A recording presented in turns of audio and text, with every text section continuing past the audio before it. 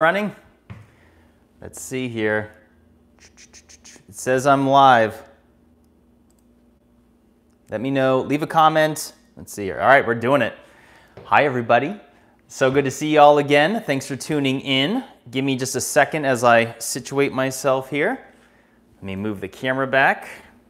If you guys can see that. All right. Hi, everybody. Um, I'll give it a half, you know, just like a minute or two to let more people filter in. Um, but anyways, so this is the pre-tour of Egypt live stream. I fly out next Wednesday evening. Um, I'm on, and let me just say something real quick. British Airways is so lame. They did the same thing to me this time that they did to me last December when I was going to Egypt, which is they canceled the nonstop Phoenix to London flight. And this is after they just started it up again. Um, hold on one second, let me situate here. Anyways, I shouldn't complain, but here's, my, here's what I'm doing. I fly out of Phoenix Wednesday evening. I fly for, uh, to LAX, so Los Angeles, and then I'll have a nonstop red eye overnight flight to London. Um, and I'm actually really excited about it because I'll be on my favorite plane ever. I don't know if you guys know this. I'm a total airplane nerd. I used to want to be a pilot. So I'll be on a 777-300 extended range I've never been on a 777 before, but to all you plane nerds out there, it's legit. It's 10 feet longer than a 747-400. I don't know if you guys care about this, but I'm gonna tell you anyway. And uh, it has the same wingspan. It, it, can seat 400 people. It's amazing. It's a marvel of engineering. Um, oh, everyone's filtering in. Awesome. Um, anyways, and then so I land in London and I'll have like an hour and a half layover before I have a five hour flight, British Airways again, of course, uh, to Cairo. And I land in Cairo around 11 p.m. or something like that. And uh, they'll be on the 30th. And then, yeah, I'll have a whole, uh, you know, I, I, won't be able to sleep that night. It's gonna be the same thing that happened to me last time because I'll, hopefully I'll be able to sleep on the plane, but I'll be so excited. And it's a nine hour time difference from where I live here in, in Phoenix. Um, so, okay, hold on. People are filtering in. If you guys want to leave a super chat with a question or a comment, I, I greatly appreciate it. Um, you'll be hooking me up and I'll be able to use those funds for future travels and everything else because let me just tell you, I do have the travel bug now. Many of you know I was just in Peru last month with Brian Foerster, and I'm of course going to Egypt with Brian Foerster again. And we're talking about doing a, uh, a Yucatan, uh, Mexico tour of like Chichen Itza and, and Teotihuacan. Um, so like, you know, there's a lot of places in the world now where we you can travel to that don't require, that aren't doing the whole mandate scene. Um, so, you know, to anybody, and I've said this before and I'm going to continue to say it, if you have a desire to travel, I highly recommend you get on it because this world is changing so fast that, I mean, you kind of got to get busy living or dying at this point because who knows what the future is going to hold. There are things happening beyond our control, and depending on whatever your thoughts and opinions are on certain things involving mandates, you, I, I, I suspect that limitations will continue. I don't know for sure, but oh, thank you so much for the super chat. Um, does this mean you're vaccinated? Uh, no, I am not. I had COVID last year. I got it in Egypt. My symptoms were incredibly mild. Um, and so I'm not going to get on this topic people got me going last time. Hey, look, if you want to go get the vaccine, you go get it. My, I have my own thoughts on it. I'm not going to share in this one. Um, leave it alone. But no, I'm not getting it, and I never will, ever. Um, but if you want to get it, go get it. I am just not susceptible to COVID, and, and don't even, God damn you guys for getting me started on that. Leave it alone. Um, hold on, what do we got here? Someone, Crogdog101 just gave me 50 bucks. What a, you're a gangster dude. Keep it up. Love the enthusiasm and insight. Thanks, brother. If I ever, hey, if we ever cross paths, I owe you a beer with that. That's very generous of you. Um, but anyways, let's get off the uh, the the COVID mandate stuff. Um, hey guys, look, that's not. This is like the most divisive time probably in history, or at least in recent memory, right? Um, guys, we're all in this together. It is what it is. Um, but anyways, all that said, you know, there are countries where, because, God, I'm not stop, just stop right now. Um, let's see here. What are people saying? So let me keep going with this. Um, these are coming in. We got about closer to 500 people here. Hi, everybody. So, okay, let me just say what I was just saying. Flying out next Wednesday evening, I'll get to Egypt uh, in uh, the late evening on Thursday, the 30th. And then so on October 1st, next a week from today, I am going to do a live stream from the Giza Plateau. It's go- it has the potential to be totally epic because there's good signal out there. When I was in Egypt last November, December, I observed that it's full 3G bars pretty much everywhere in Egypt. Egypt is very modern. Who knows? It could be 4G or 5G by now. I don't know. Um, but I had excellent cell service on the plateau everywhere I was, unless you're in the pyramid itself. So, yeah, I got my camera equipment set up and I am going to do a freaking live stream and I'm going to take you everywhere through this. If, if I lose signal, I'll start the stupid thing back up again. I have a, a external battery pack, so I, I'm gonna make this thing hours long. I Because many people will never be able to travel to Egypt, I understand that. So I'm going to do my best to have you live vicariously through me, through my freaking camera, and I'm gonna show you all of the things that exist on the Giza Plateau besides the pyramids and the Sphinx, and I'm gonna show you that stuff too. There is so much stonework and relics and structures that most people do not have any idea exist around the pyramids because again, the pyramids and the Sphinx get all the attention. But I'm gonna show you 120 plus ton limestone blocks at the top of the causeway. I'm gonna show you uh, the nub phenomena, these nubs that I've been showing you on, on stonework and other channels have been pointing out. Um, I'm gonna show you guys this stuff. I'm gonna walk around the whole damn place on a live stream. I, I think it could potentially be absolutely epic um, because it's not till you're out there and let me just say, I've researched Egypt so much, and it wasn't until I got there last year that instantaneously you see, like, look at all this other stuff I didn't even know existed. Um, so it's pretty amazing. Um, let me give, oh, hold on. Thanks so much, Josh Randall, for, for the, your uh, super chat. A month, uh, what did you say? Best 49 I ever spent. Dude, that's very, that's very kind of you. Um, Mark Ritchie, uh, See you in Egypt on the first. Can't wait to talk about Atlantis. Woo! What up, Mark? Can't wait to meet you. All right, so that's another thing, guys. So I'm only going to be there for the first four days. This is the tour is October 1st through the 14th. But and, and I, I, alluded to this in my last Peru uh, when I did my live stream, but I didn't feel like telling people about it at the time. And to be honest, I haven't even told my friends, but my family, of course, knows. So I have a broken knee. I have a bone chip fragment that detached from my left femur. And I'm okay. I, am in no pain at all.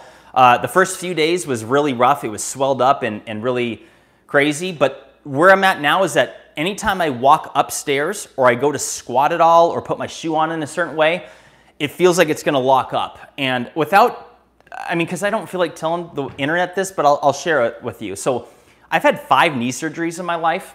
The last one was in 2014. And I have a rare knee defect. It's become more common now almost. Some professional athletes have had it, but it's called osteochondral dissecans or defect, where essentially the femur bone is malnourished from the blood, and over time it can cause like it to chip away or chip off and die. Really gross. Um, so randomly a month ago, I was getting off my bar stool and I just opened my leg up and there was a loud pop, but it didn't hurt at all. And it felt weird the rest of the day. And then the next morning when I was getting out of bed, it almost locked up and I instantly knew what happened. And if anyone's ever experienced or know of anyone that's experienced a, a fucking knee lockup, it is, it is unreal. It is horrendous. It feels like if you move your leg or your, your flex, or excuse me, open your leg up in any, even for a fraction of an inch, it feels like the whole thing's gonna, because there's a bone essentially in between the joint and it feels like the whole thing's gonna shatter. It's really messed up. So because of that, there's no possible way that I'm gonna be able to crawl in, or squat to go down inside the pyramids or other places. And, and there's a lot of tight spots. So I was gonna pull out of the tour altogether, but I really, really didn't wanna do that. Um, the whole thing was set up already. So I'm like, screw it. The first four days I'll be in Cairo where I'm not gonna need to crawl inside anything actually. Um, and so when the tour flies down on day four or five to uh, Aswan or to Luxor, then I'm just gonna go home. It's fucked. I wanna be depressed about it, but I'm not gonna let myself because here's the blessing. I'm not in pain, I'm walking, I'm grateful for that. But um, all the sites that I really, really wanted to get back to, I'm now not able to.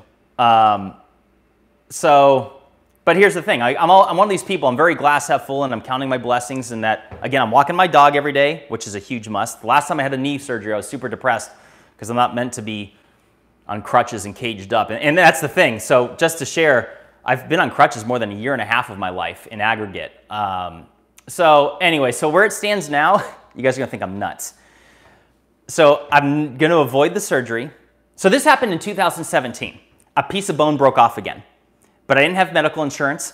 And I'm like, I'm not going to the VA. And it was really bad. It kept locking up and I was handicapped. It was, it was treacherous. But then eventually the bone moved to some spot in my knee where I didn't even notice it. And then within a few months, it's like it never had happened. And I've been fine since. And so as of right now, I know, because I already know the situation. I've had two cadaver, so let me tell you, with those five surgeries, that included bone chips breaking off before and having to have it removed. And the other surgeries were to have two, these are two, this is years apart, cadaver grafts inserted into each one of my knees. So I, I have two dead people in me. So I'm super, I feel super, I mean, that sounds creepy to some people, but I'm super um, grateful for it that, I mean, so I'm an organ donor and I recommend everyone else be too. I know some that creeps some people out, but like because of those people and who knows who they were and what happened or why they died. And, but like because of them, like I was able to, well, I wanted to go in the military at the time and I was able to do that because of that. I was able to go to Egypt and do other things and squat around. So um, I'm counting my blessings. So anyways, I'll get off that topic, but what's gonna suck so bad is that I'm gonna be there. I'm gonna miss, I'm going all the way, 7,000 miles away, and all the sites I need to get back to, like the Osiris shaft, because I need to film down in the third shaft where they have the tunnel blocked off where Zahi Hawass had stood in front of 20 years ago. I need to film that. I need to get, I'm gonna miss the base of the Sphinx because our special access on the tour allows you to go down there. So I'm like, you know that hole in the ass end of the Sphinx? that was what I was gonna. I was gonna go down there and freaking have this huge long selfie stick and shove my camera down there and like, what's down there? So, anyways, um, whatever. I'll. But here's the good news. Next February, March, looking to go back either with Ben of Uncharted X in February or Brian Foerster in March. So um, it could be worse, right? Um, so let's see here. Lotus 2005. I've, all right, I fly in on the 30th too. I can't wait for this trip. Take it easy on that knee. I know your struggle. Thanks, Lotus. It's very nice of you. Guys, don't feel bad for me. I'm going to Egypt twice and within a year. So, and I'm not in any pain, so whatever. I'm not, I'm just not going to think about it. Um, yeah. But anyways, guys, so that being said, I don't, I, it might be too late to sign up for our tour. I know we have more than 50 people going. Um, but if you're looking to do something last minute, it's probably still possible. So go to khemitology.com um, if that's something you're interested in. But if not, Ben from Uncharted X is doing a tour starting on October 16th, two weeks.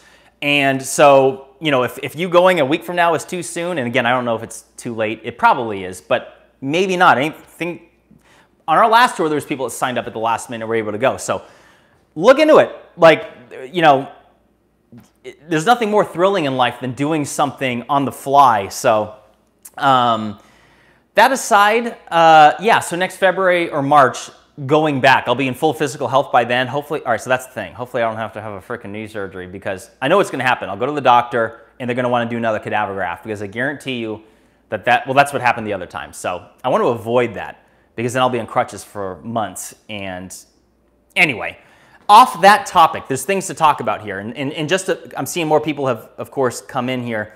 So there's a lot of things I want to mention. So eh, to those who didn't just hear me say it, I'm going to do a full live stream on the Giza Plateau a week from today.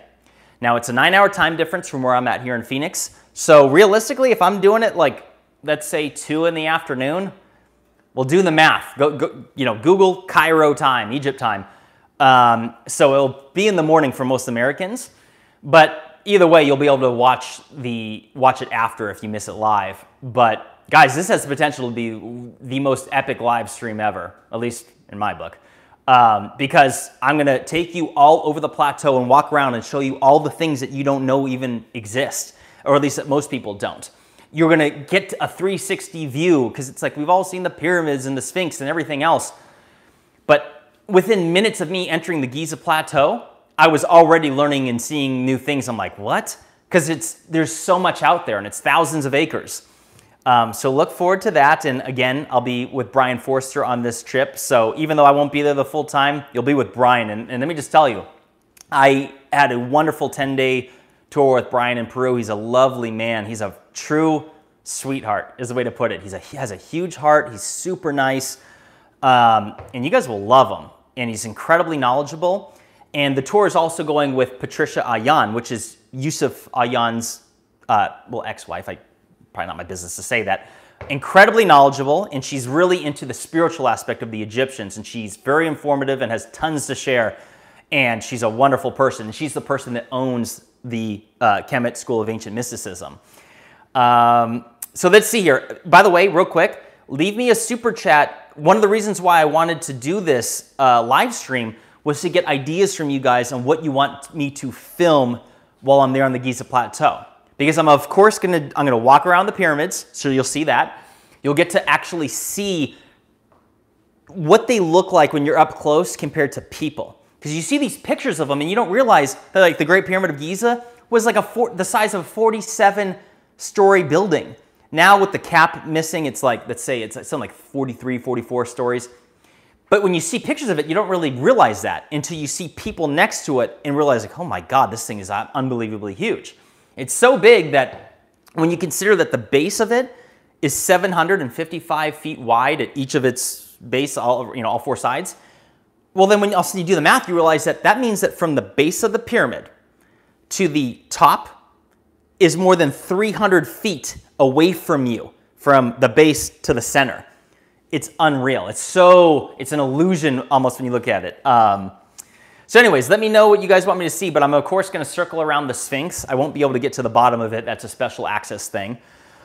Um, but I'm gonna show you the all through the causeway. I'll be able to show you exactly where the Osiris shaft is. And here's another thing that I'm very excited to show you, which is all of the locked gates um, and, and doors throughout the plateau. It is unreal how much stuff there is to see there that is completely off access to the public. And this tied in, if you guys saw my recent um, survey on, uh, or, or, poll that I did on my community uh, board on my, on my channel page, I asked, you know, because I was want to see what you guys want to see next. And so I've been working on this video involving, uh, you know, things that are be, ancient sites that are being kept hidden from the public. And there's several different things that I was going to include on there. And one of the things that I really, really want to include, and this is like the least of my main points of it, is the locked gates. And I'm not saying it's some big conspiracy or anything like that, but there's stuff that's there that the general public doesn't have access to, and I don't, I want to be able to have access to it. Even if they want to charge me, I'll, I'll pay it. Um, all right, thank you so much for the super chat. Is it by Zebly? Uh, send a drone down to the smaller tunnels if they will allow it, such as the Sphinx tail hole. Well, that has come to mind. Well, let me just say, drones are illegal in Egypt, or at least on the plateau, or around all the ancient sites. Cannot use a drone, period. Um, all right, so let me just be clear. I'm not going to do it. So to anyone watching, I'm not going to do it because I don't want to risk getting arrested in Egypt. But it's not like that hasn't crossed my mind to get like some sort of little remote control car, little you know, camera on it and send it down there. But I'd never be, that's the thing, you wouldn't be able to get it back. It drops down that shaft on the back end of the, uh, of the Sphinx. Um, but anyways, let's see. What do you guys want to ask me here? But uh, let me keep going. More people are tuning in. Let's see. So, okay, well, I'll talk about that in a second. Um, but one of the other details talking about these closed sites, to, so to those of you that didn't watch my live stream from after Peru. And, and by the way, I see people asking, where are you, all your videos from Peru? They're coming, guys. I, I've been working on several videos at a time. I've been caught up with other things in life as well. And so the, the intention that I have going on this trip is to just keep my momentum going and come home and become obsessed with making videos again like I once was. When I was making videos on a regular basis, when my channel was taking off, like then it's addicting and you can't stop. And then when you losing momentum is a real thing. So that's the intention, guys. Like there's too many videos that I have built up that haven't been finished. And so it's time to just get busy living, isn't it? Um, so look forward to that. But um, what I wanted to say though, like I was just alluding to involving what I mentioned in my last Peru live stream is that guys, so listen, they're, they're closing, they're in the process of closing Machu Picchu to the public forever. And I'm not kidding here. Um, so when I was there last month, if you haven't been to Machu Picchu or if you're not familiar with it, the layout that the most impressive, largest stones, all the most impressive structures are at the very, very top. You're no, you're no longer allowed up there. You can only go down the base of it. Like you're on the top of the mountain and there's, it's layered and you know, the structures go up through the layers. And the most impressive stuff is at the very top, the various temples, what do you want to call them. Um, guys, they have guards there. You can't do it. It's access denied. And we asked why, and they said, quote, conservation. So they want people up there to conserve the site. I'm like, okay, hold on a second. I am completely on board with conserving ancient sites. Great. But if you're not going to let anyone up there ever, what's the point of conserving it? Guys, you can rope these sites off to prevent you from touching it. They have guards everywhere. And I mean, like everywhere. They can stop people from screwing with it because, of course, there's been vandalism and graffiti that have happened over the years, of course, um, at all these sites all over the world, too. But um, I'm like, wait a second. So, th so this is what they intend to do over the next couple of years. They intend to completely close all of Machu Picchu to the public and to where you would only be able to see it when you, so you'll take the train to Machu Picchu and you're thousands of feet below at the bottom of the mountain, and they want you to do a virtual experience only. I'm not kidding. That's silly. That's stupid. It makes me want to boycott the place, which I'm not suggesting yet. I wouldn't want to do that. I would not want to do that to the lovely people of Peru. Um, but guys, something this needs to be addressed because this is like, what the fuck is the point of preserving this place if no one's ever going to be allowed to see it ever again? Leave it to the alpacas and the and the and the eagles and hawks. What the what's the point? And and again, it's been sitting in the blaring hot um, high altitude sun. High altitude sun is something else. You burn it within minutes out there. And the wind and the rain and all the erosion and the elements for thousands of years, and it's doing just fine this is weird. So that's going to tie into that other video because there's a few other things to discuss. Like, for example, like what about uh, Gobekli Tepe? That site was discovered or rediscovered in the early 90s, and they're still like, what's what's the holdup on on digging this site out? It's still only at like 90% dug out. I made a video on this. One of my first videos on this was in 2016. We're talking five years ago. Nothing's changed. What are they waiting on? What's happening? Um, and I mean, there's other places too. So I don't know, guys. I have some real concerns, but that'll make for a fun video. Um, all right, so let me keep going. What do you guys got to ask me here? Let's see here. Oh, let me show you guys my new camera equipment. Because, okay, so last time I went to Egypt, it's like you live and you learn, right? And a lot of people were making fun comments or funny comments to me, like when I went into the Great Pyramid at the, at the end of it. And uh, hold on. It's just apple juice. Don't worry about it. So I didn't have a flashlight, right? You got some of you guys saw that. Well, I did. I just didn't have it on me. And the reason is because we went to the Great Pyramid of Giza hours before I was flying out of the country. And so I had to have all my bags and everything packed up.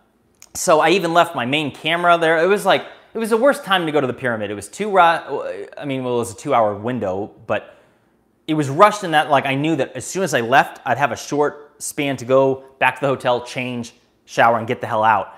So live and learn, but the good news is, is that I have a few things. One, I'm bringing a legit flashlight. This thing's way bit, well, hold on. Why did I do that? This is like 350 lumen. It's a good one, extra batteries. But even more important than that is this sucker. So this is my mirrorless camera. I believe it's the Sony a6600. It's got, uh, this is the wide angle lens. It's phenomenal. And, and I got a legit light. It, you can change from different color of the, uh, anyways, this thing's far brighter than you'll be able to tell. But this will make all the difference, especially when I'm down there in the Serapeum with the 100 ton stone boxes.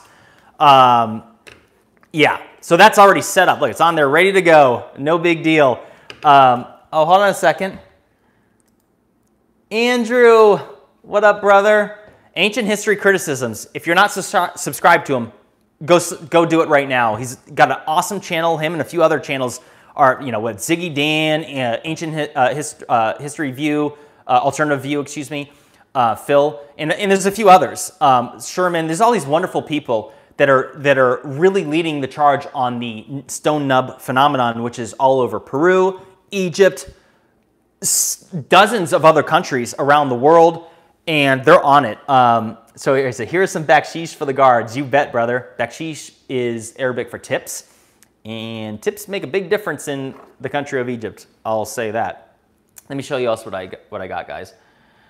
Well, I do have a selfie stick this time, so this thing will be legit for using with my phone. It's got the control. This this will be a good thing. That way, I'll when I do use my phone for some filming, I'll definitely be doing it horizontally because last time I filmed in vertical, but let me just say, I was not intending on using those videos on my phone for the internet. And then afterwards, I got home, I'm like, well, I should. You know, these I got some good shots, but it's like I was filming in vertical just because I'm holding with my hand, I'm crawling through these sites. You have to be able to do stuff and live and learn, guys. But anyways, but that's not what I intend to use for filming because what I invested in is the G DJI uh, Osmo 2. This thing is badass. This is a 4K, 60 frame per second wide angle video and photo. Um, and this thing is outstanding. Ben from Uncharted X has one, and if you've seen his videos, the awesome video quality he has, he's using just this little, this little tiny thing is unbelievably high quality. And I got with it an outstanding wireless Bluetooth microphone. So I'll be using this around the ancient sites as well. This will make a phenomenal difference in the quality of the videos of my channel.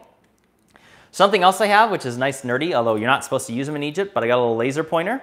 Should I point? I don't want to point that at my camera. It'll probably break something.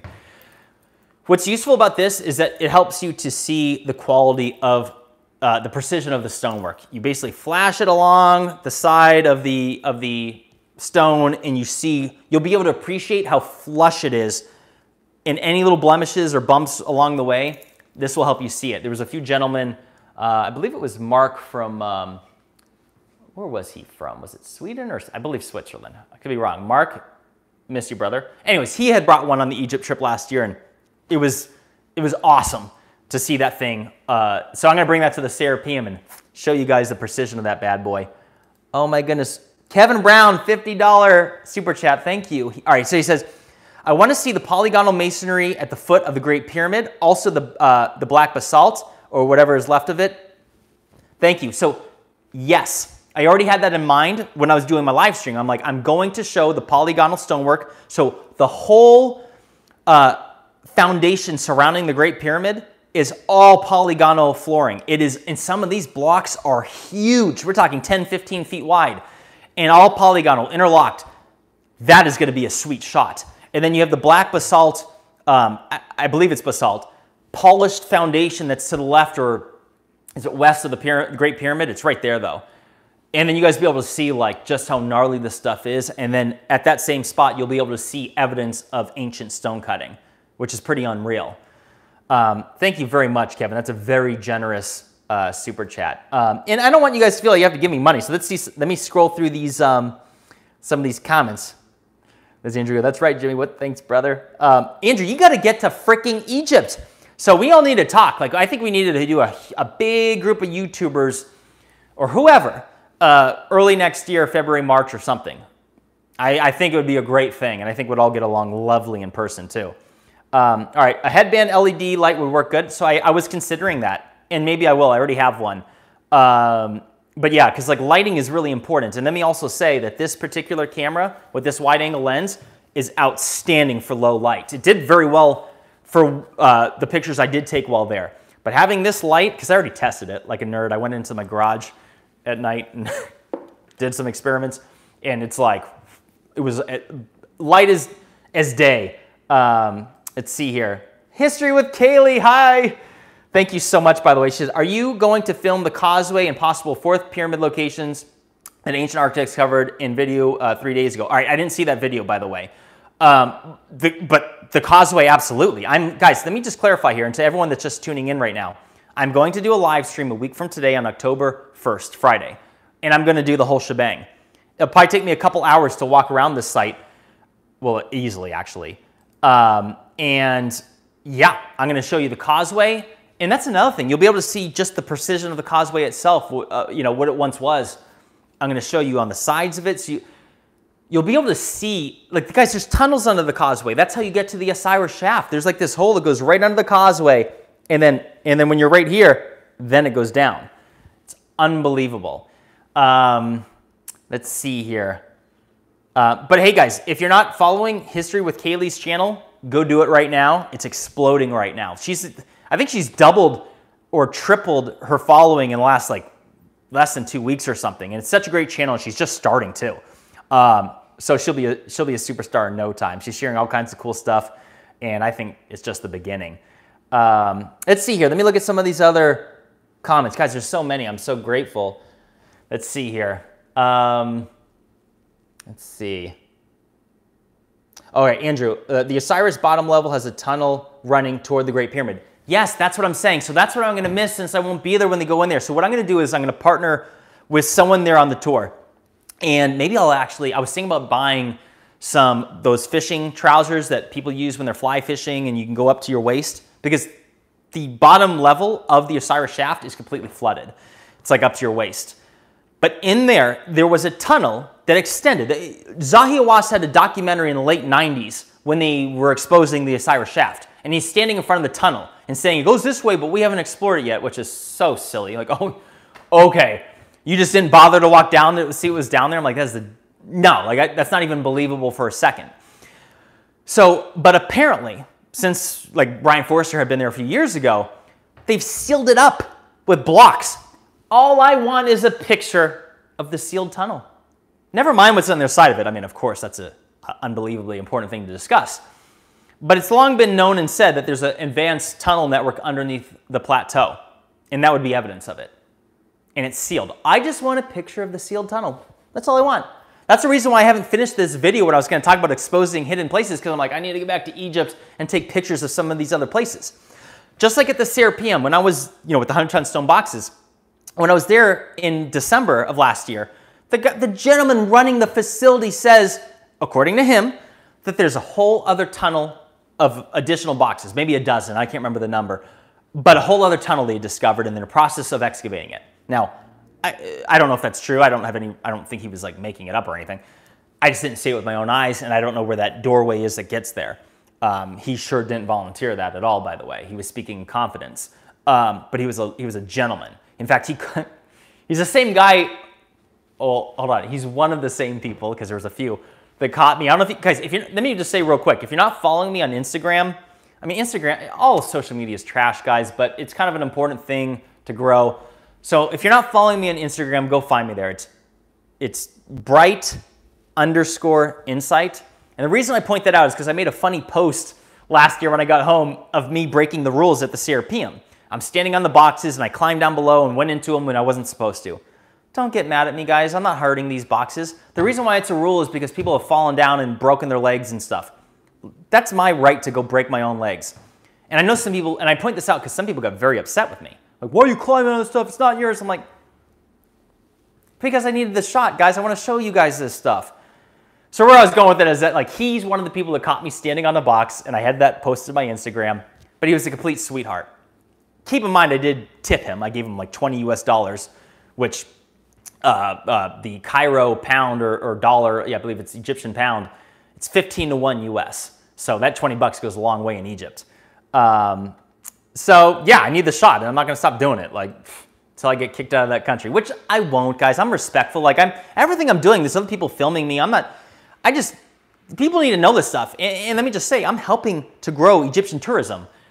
Me promoting this stuff is helping people to sign up that otherwise wouldn't have gone.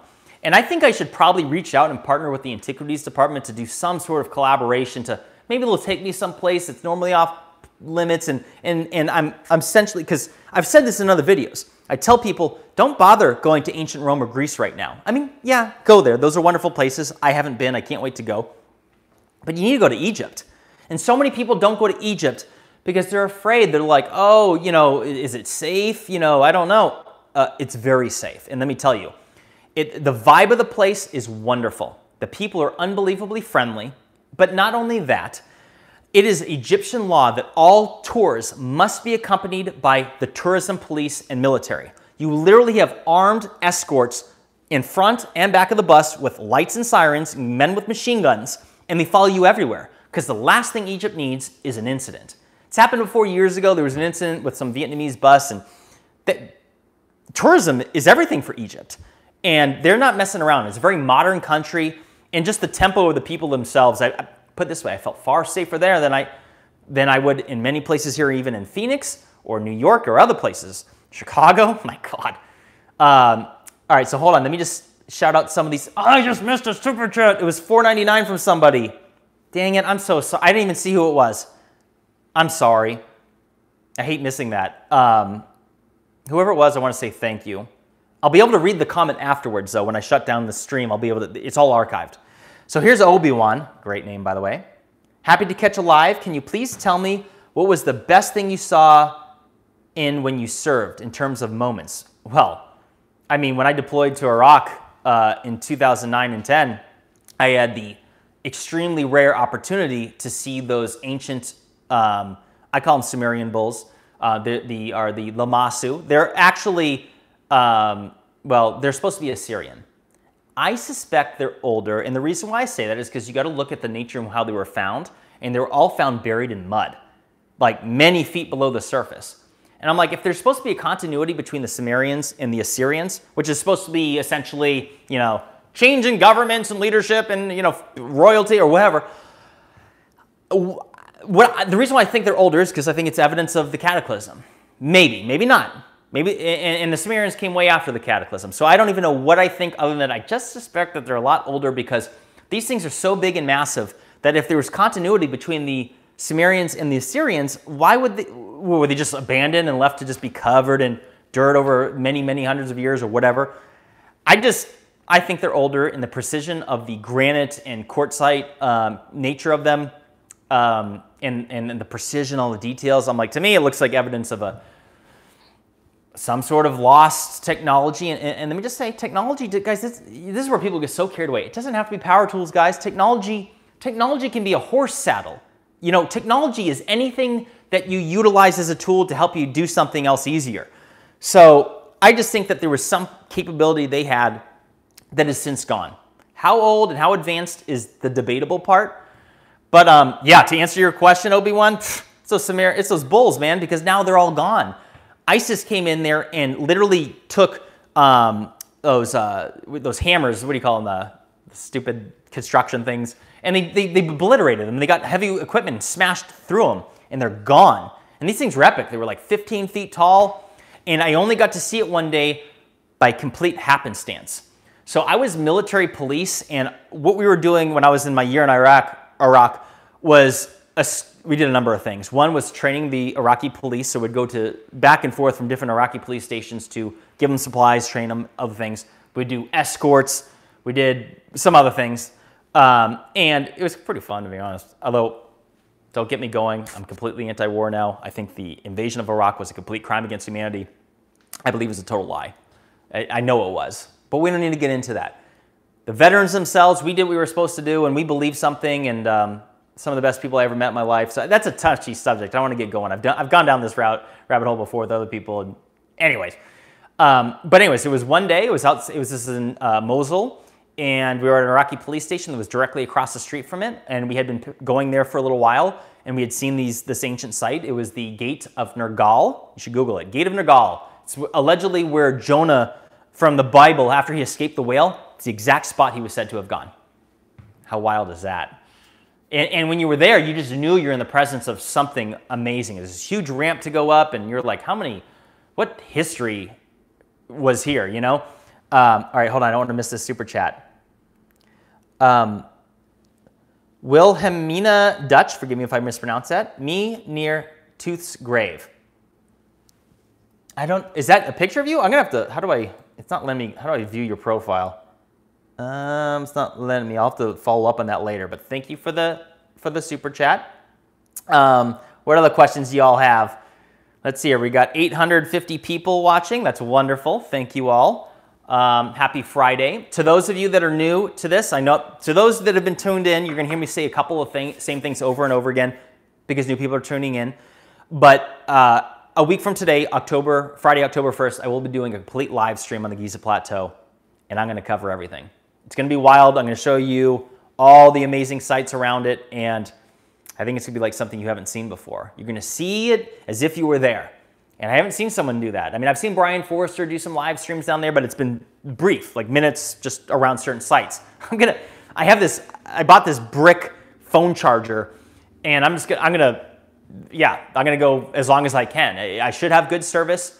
If I get interrupted and it falls out, I'll just restart that sucker all up again. It's gonna be a good time.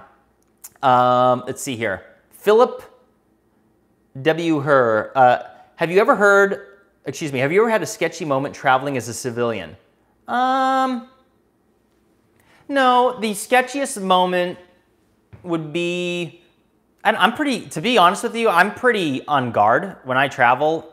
I have my wits about me. I don't let anyone come up from behind me. Uh, no one's ever gonna pickpocket me. Good luck with that. In fact, I keep my wallet in my front pocket when I travel, as opposed to at home, I'll have it in my back pocket. And I just, I just kind of put on this face like, so you guys are gonna see it actually. You're going to see it on the plateau because there are so many sharks over there. Like I said a moment ago, the people of Egypt are wonderful. But then you have the scammers and the thieves and the, and the manipulators around the pyramids that are trying, they're so shicey, some of these people. They're trying to get you to buy stuff or take your money, rip you off in different ways. And they are aggressive. They won't leave you alone. They'll come up. And I'm Mr. Nice Guy, guys. I, I, you know, if someone wants to talk to me, I'll acknowledge them. I don't like to ignore them. Like someone come up and talk to you and some people will just ignore them, like don't give them any attention. And I'm like, no, that's a human being. I like to at least look them in the eye and say, no, thank you. And then I realized if you're a nice guy and you got a nice little smile like Jimmy and it's like, oh, you know, I'm Mr. Nice, you know, they take kindness for weakness and they'll prey on you. So you guys will see it. Eventually you have to kind of put your guard up and be like, you know, no, get back, you know, like, you know, fuck off. um, so the sketchiest moments, to answer your question, would probably be something like that. But um, I mean, I haven't had any late nights out in like sketchy parts of other countries or anything. I'm pretty smart when it comes to that stuff. No one's gonna get their one up on me. Um, someone just give me 500. Is that check? Is CZK check? Let me uh, let me Google this. One second. CZK currency. I believe that's. Oh, yep, check. There we go. Thank you so much, Mary Treese or Tris. Thank you very much. There's no comment. She just, it's a tip. All right, I'm gonna, hey, that those funds are going to go towards um, bribing people on the plateau, hopefully. All right, let's see here. What else? We got some other comments here. By the way, my apple juice, but all right, all right. Jimmy trying to be Harrison Ford in real life. LOL. Viper Chief. Yeah, I mean, why not? to be honest, like, because you guys have all seen me in that hat from you and being in Egypt and Peru. So that kind of happened by accident. I bought that hat while in Denver at an REI in 2018. This is way before I ever thought I was going to Egypt. And I bought it because it looked so cool and the friends I was with at the time, I'm like, Jimmy, like I just saw it, like it was there. I was like, how's this hat look? Because I don't even wear hats anymore. I used to wear like baseball caps growing up and everything, but I haven't worn hats in years, at least not since the military, like make you as part of your uniform. And my friend's like, dude, that's a legit hat. You should get that. And it was only 50 bucks. I'm like, all right. And then it sat, I didn't wear it once for two years. And then it wasn't until I was going with Ben of UnchartedX to Egypt last year that I was like, this is it. I should bring this hat. Because you got to wear a hat out there. You got to keep the sun off your ears. Anyway, um, so yeah, people are like leaving comments ever since then. Like, look at this Indiana Jones and all that. I'm like, yeah, Indiana Jimmy.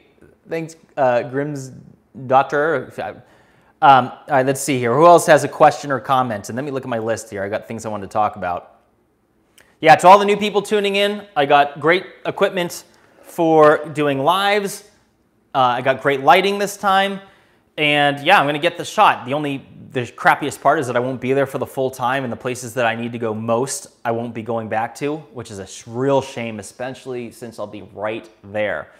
But I'm in kind of dire circumstances. I even bought a collapsible cane in case I have an emergency where the, because uh, here's the deal. If that knee locks up, it, depending on how that goes, it might require emergency surgery. So I've already talked to the Khemit School, the people that are running the tour, and they have a doctor contact and all this. So like worst case scenario, I'll have a discounted surgery in Egypt. I don't want to believe that will happen because right now, guys, I'm walking around fine. I don't even have a limp. It's like nothing had happened. It's not till I go upstairs or I bend my leg or I go to squat or put my shoe on and like, you know, bending my leg, that then it feels like that bone's to get in there. But other than that, it doesn't hurt at all. You know, so but I'll bring in that collapsible cane in my suitcase just in case. Um, who's it?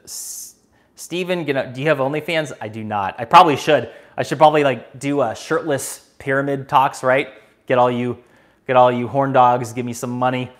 No, I'm never gonna do that. Um, let's see here. Is there a location on this trip that you didn't get to see last time? Well, yes, but I won't see it, which is at the base of the Sphinx, within the paws and down in there. Because how they have it now is that that's a special access permission. You can only go up on the top of the enclosure now, unless you pay the fee. So this tour does include that. Everyone coming will be able to go down in there. Um, I will not, um, but that is, which is a freaking shame too. Um, hey, hang on a second. I'm just gonna turn on my AC. It's right there. This will only take about five seconds. One second.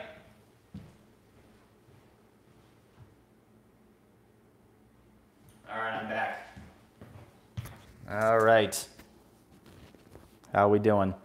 Um, yeah, and it looks like, now here's the thing. Like I was just saying that if you want to make this trip, there's probably still time. Maybe it's not, it doesn't hurt to send the Khemit School an email.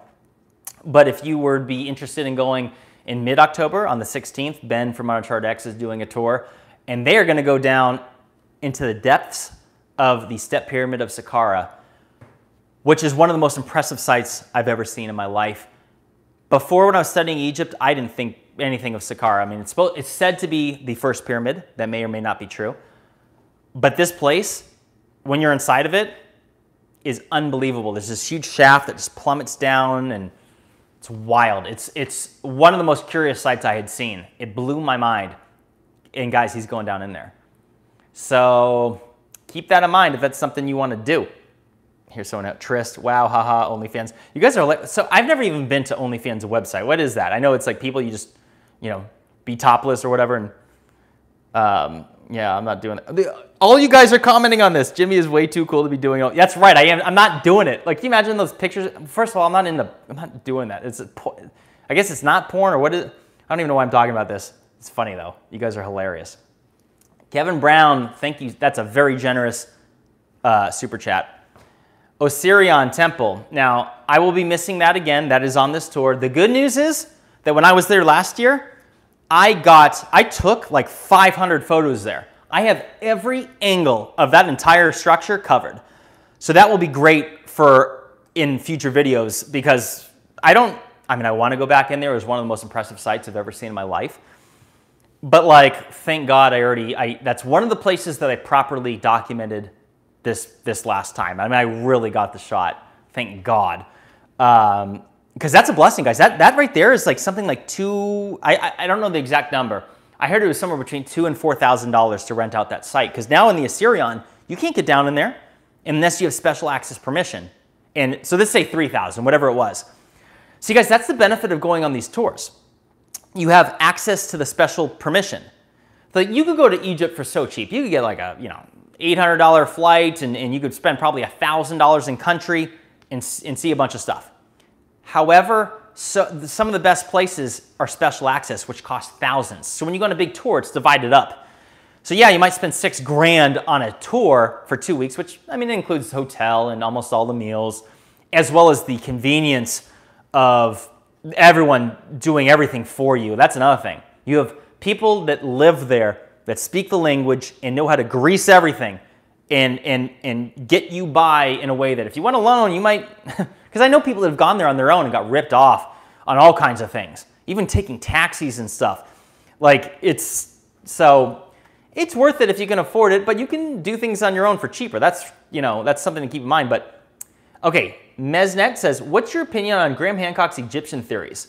If true, why would the powers that be covered up? Well, I don't know specifically what you mean.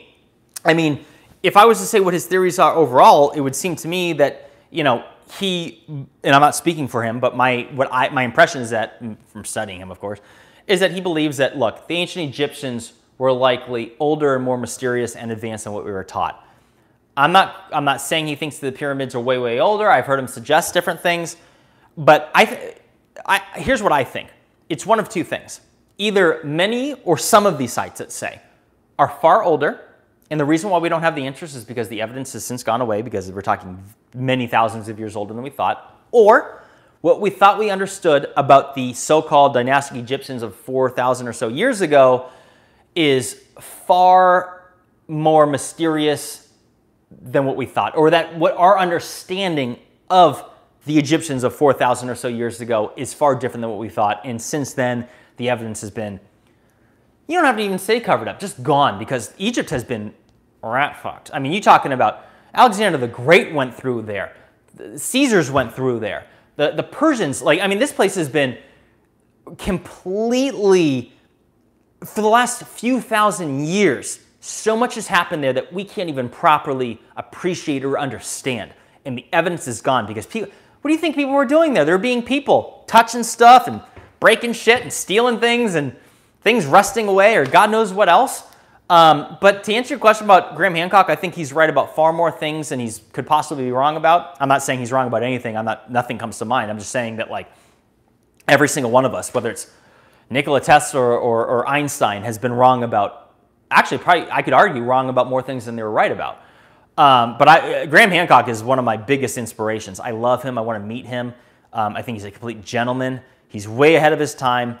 The backlash he has gotten is from people that are complete, have no imagination and, and are, are so, God bless their hearts, but it's like they just, it's like they believed everything they read in some textbook and didn't ask a single question. And it's like, how do you know this? You know, so I don't know. I don't know if that answered your question, but because um, I'm trying to think of something specific that one of his theories that you would um, be referring to. I mean, I'm right here on the spot. I'm trying to think, but um, let's see here. Um, yeah, uh, this is a great point, Dominic Johnson. There were at least 26 dynasties before Alexander the Great. You guys know what a dynasty is? It's like it's like 10 or so pharaohs. It's 26 of them. So we're talking a few thousand years. Like, pff, there's so much time that's transpired between the time the pyramids were alleged to have been built. For example, and I've heard other people make this point before, and I'll make it again, which is that Cleopatra is closer to us than she is to the Great Pyramid of Giza, Egypt, assuming it was built somewhere around 4,500 years ago. Think about that. Guys, this is, we don't understand Egypt. I'm not saying we don't understand anything. I'm not saying everything's wrong. People get so carried away. Um, but yeah, I, if you want to know what I honestly think, yeah, I think it's older and more advanced than we were taught. How advanced? I don't know. How old? I don't know. I have ideas. Come, come to Egypt with me and I'll, I'll, you know, give me a beer and I'll, I'll really open up. That, see, guys, that's one of the funnest things about going on these tours is just how open-minded people are. You have people from all over the world, many people on the same opinion on a lot of things, whether it's political or things going on in the world, uh, conspiratorial or whatever.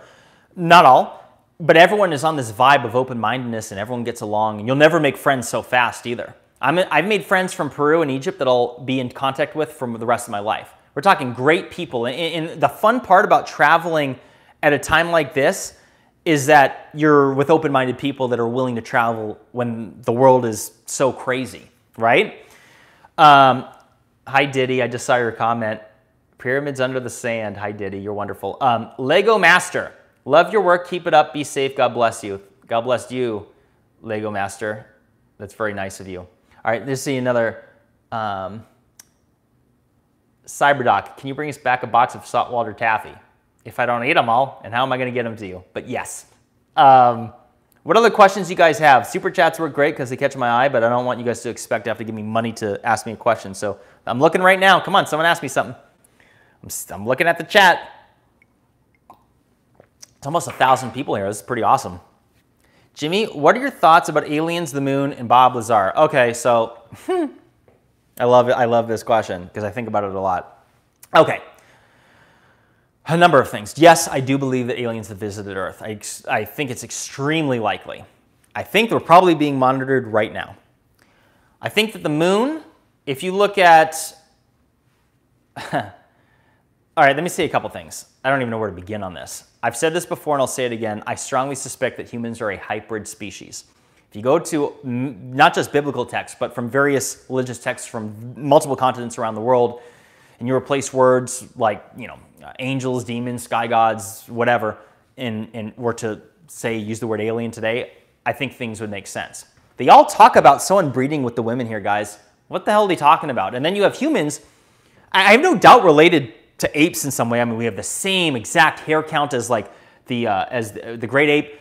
Um, you know, like for our head, um, DNA and other things are very, very similar, but not exact, obviously. Um, and we don't assimilate with an environment at all. We're like this cancer spot on Earth. Like, go look at a city from space and it looks like a cancer blob. It really does. Um, you know, we need shoes and sh clothes. Like, we're all, you know, everything else on Earth just assimilates and we don't. And on top of it, we're crazy. We're just destroying ourselves all the time and like, just we're mad. I, I, I look at us as like this, like this poor example of a mixed dog breed that, that, I mean, some mixed dog breeds are the best ever, but like there are without a doubt examples of mixed species out there that are just clearly not meant to work out. So, going back to the moon though, there are unanswered questions about the moon, and I don't want to like mention his name because I haven't heard this directly, but I know people that went and saw Randall Carlson recently. He's given these talks. Um, and apparently his thoughts on the moon are quite interesting. I don't want to speak for him. I wasn't there in person, but I will say that if you go watch my video on the moon and other things, I will, I shouldn't even say his name because, it, well, I will. But it doesn't mean that I agree with every single thing he said. This is how stupid people are now, is that if you mention one person's name, like, but he said this, this, and that, so you can't listen to anything. Shut up. People are wrong about things, right? And I'm not mentioning anything he's wrong about, but I will say this David Icke's thoughts on the moon, things that he has shared in his books, which is just an accumulation of research from other people, like Russian scientists and others. It is very possible that the moon is somewhat artificial in that it has been hollowed out and is, is an example of intelligent design and without me mentioning other people's names, because it probably wouldn't be appropriate for me to speak on their behalf, but there's other extremely smart, credible people out there, from what I hear, have the same opinion, but they're careful on what they share publicly. And guys, it's wild. Like, there's so many things about it that are unbelievably different from any moon in our understanding of the solar system or any research we've done from any other observed satellite moons in solar systems, you know, far away. I know that sounds wild. It sounds crazy to people the first time they hear it, but if you really dig into it, it, it kind of, it's, it's possible is all I'm saying. And, and if you saw my moon video from a year and a half ago, whatever it was, all I'm saying is that we should go back there and I want to see some really good, you know, 4K video. That's all. That, that's all. That's all I'm asking. I mean, China's on the dark side of the moon right now, and you don't hear anything about that. What are they doing? Apparently, they're like trying to grow vegetables there and mushrooms and crap. You hear about this? That's mainstream news, by the way. Most people have never heard that. There are things happening on the moon that we are not aware of. Meanwhile, there's this huge space race between Russia, China, and the United States to go mine the moon for precious metals and other elements that are rare on Earth or just worthy of, uh, worth a lot of money. You, you, don't hear anything about it anymore, do you? They're doing it. They're, they're in the process of trying to make that happen right now. And you don't hear anything. Nothing to see here. Meanwhile, everyone just watches the news all day long, and whatever's the, the, the, the, mainstream headline at that time is all they focus on. And then you, they lose track of all these other things that are happening behind the scenes. So, something fun to think about. Don't get me going. Go watch that video because there's been lights observed from the moon. Some people say, well, that's, you know, those are from the mirrors they put up there on the Apollo missions. No, there was lights observed hundreds of years ago and thousands of years ago on the moon. This has been documented. There's thousands of cases. This is real, and NASA has documented this in, in extensive uh, uh, documentation, what I'm trying to say. It's real. It's called transient lunar phenomena. It's a real thing. Right before the Apollo 11, the day before the Apollo 11 astronauts landed on the moon for the first time ever, uh, Houston had radioed to them say, hey, we are observing this green fluorescent lighting on this crater on this you know, corner of the moon, blah, blah, blah. Immediately, Michael Collins radioed back and says, we're observing it now, da, da, da. Green light on the surface of the moon. So out of all the things you heard from the Apollo missions, how many people are aware that they saw a freaking light on the moon before they landed? Isn't that like a front page headline itself? You guys, this is documented. This isn't like hearsay. This is NASA records. This is a real thing. It's unexplained. So what was it? I mean, there are theories. Maybe oh, it's gas and da da da. But that's another thing. So why is there gas escaping from the moon? There's seismic activity happening. It's supposed to be a dead planet. All right, hold on. Michael Wiggins, what are your opinions as to uh, as far as the safety or risk for non-straight tourists in the Mideast? I've only heard bad stories. People exaggerate. Okay, here's the deal. All right, if you want to be completely honest, and this is from my own experience in Egypt as well as in the military being trained on certain things. So here's the deal. In many Mideast countries, yes, it is socially unacceptable to be homosexual. But there are many people that are, but just, you know, better off being DLL about it, I guess. Um, but I will say this, and this is, guys, I've heard this directly, okay? Like, you know, there is many people, there are many more people that are homosexual there than most people are aware, and many of the people that are against it are homosexual themselves. They're just trying to not have religious conflicts and things with their parents. Um, put this way, if I, look, I think people should just be themselves. Like if I was gay, I would, I'd probably be Mr. Proud about it and just wait for somebody to cross my path and mess with me. Like, you know, I'd be the guy that punch their lights out or, or try or die trying. Cause I'm like, for somebody to hate on you for that, it's like, that's no different than being racist. Like you're born gay, like you don't just decide to be gay, right? So it's like, for someone, it's like no different than someone calling, up, going up to a black person saying the N word. That's the way I see it. Um, and so that's just stupid. But but we all know like it's still a taboo thing in much of the world. It's becoming far more socially acceptable out, you know, especially in the states and the Western world. But it's still kind of a thing in some places. Like hence you're asking, right? I don't know whereabouts you live, but what I will say is this: I have no doubt that there that there was. I mean, I'm assuming some homosexuals uh, on my trip to Egypt. They were there was no issue there. I don't remember them like going on dates or anything, but like the point is, is that I don't think you'll have any issue. Why would you? But maybe if it might be smart not to like be too out there about it either. But either way, if you're on a tour, ain't nothing gonna happen to you. One, you're gonna be with a huge group of people that will be looking after you, plus you have the tourism police. And three, like the people out there aren't that bad, guys. Like, I don't know. I hope that answers your question, but I guess if I had to give you a straight answer, straight answer, no pun, um, you have nothing to worry about. Um, so Let's see here. Oh, let me just remove that mean comment from this mean person. Let me see if I can block them forever too. Um, yep, blocked. Um, I don't know why somebody would come to my channel if they don't have something nice to say. It's like, hey, go somewhere else. There's plenty of other things to talk about uh, or other people to hear things from. Uh, but anyways, um, so what else do you guys want to talk about? Let's see here. Let me look at my list. Um, Oh, I want to talk to you guys about the tour itinerary. People were asking earlier about where we're going. So here we go. Day one, October 1st, and this will give you guys an idea, especially if you're thinking about going on a tour, you'll understand how it works. So for a 14 day tour, this is how it goes down. It officially begins on Friday, October 1st at 6 p.m. People are meeting at the hotel and we're doing an introductory dinner and meet and greet. You have everyone meet up in a big circle and everyone, there's an introduction from the tour host you know, explain a bunch of things about what to expect while we're there and all that. And essentially, they everyone will go around and just briefly introduce themselves, like, you know, hey, here's who I am, where you know where I'm from, why I decided to come here, here's what I've been open to discover, and just share anything they want. And it's so awesome. It's a great icebreaker. Some people are shy speaking in front of others, but by the end of it, you feel great, and everyone's so welcoming and supportive. Um, so there's that, and we'll have an excellent dinner. And then Saturday the second, we're gonna go tour the Giza Plateau. So maybe I'll do another live stream there. Depends how it's going down. People will probably wanna chat, so that's why I wanna do it Friday before the tour starts while I'm in the Giza Plateau and I have my own time. So we're gonna go around, but we're not going into the pyramids. That's at the end of the tour, which is why I'm gonna miss that again. Um, but we're also gonna visit um, the Valley Temple, which is in front of the Sphinx. It's one of the more impressive sites in all of Egypt. It's very similar to the Osirion. So I'll get to see that, and then we're having dinner.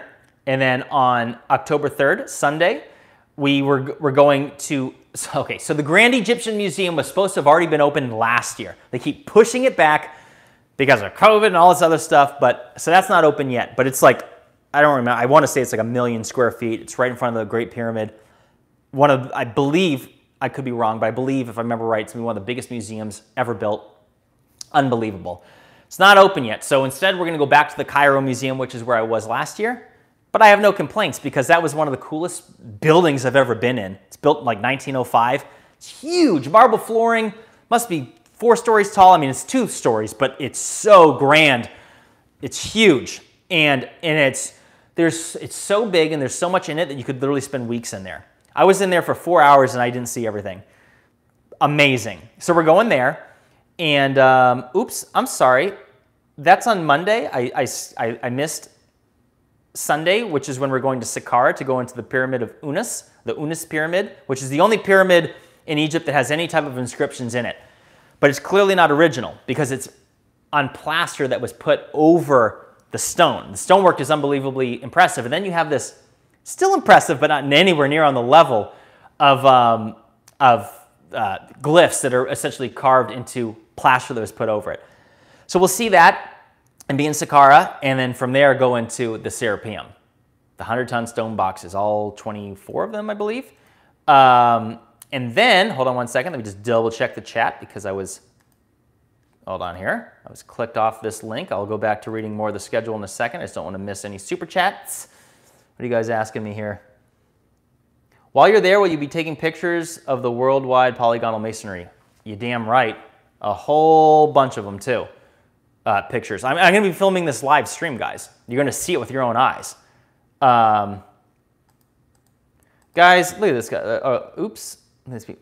Oh my God. Guys, don't get into politics on here in the chat, you silly people. Come on, guys. We're all here because we have this one thing in common, which is this awesome uh, fascination with the ancients. So hold on to that. Otherwise, you could spend your whole life just finding things to disagree with people on anyway. So on Monday the 4th is when we're going to the museum.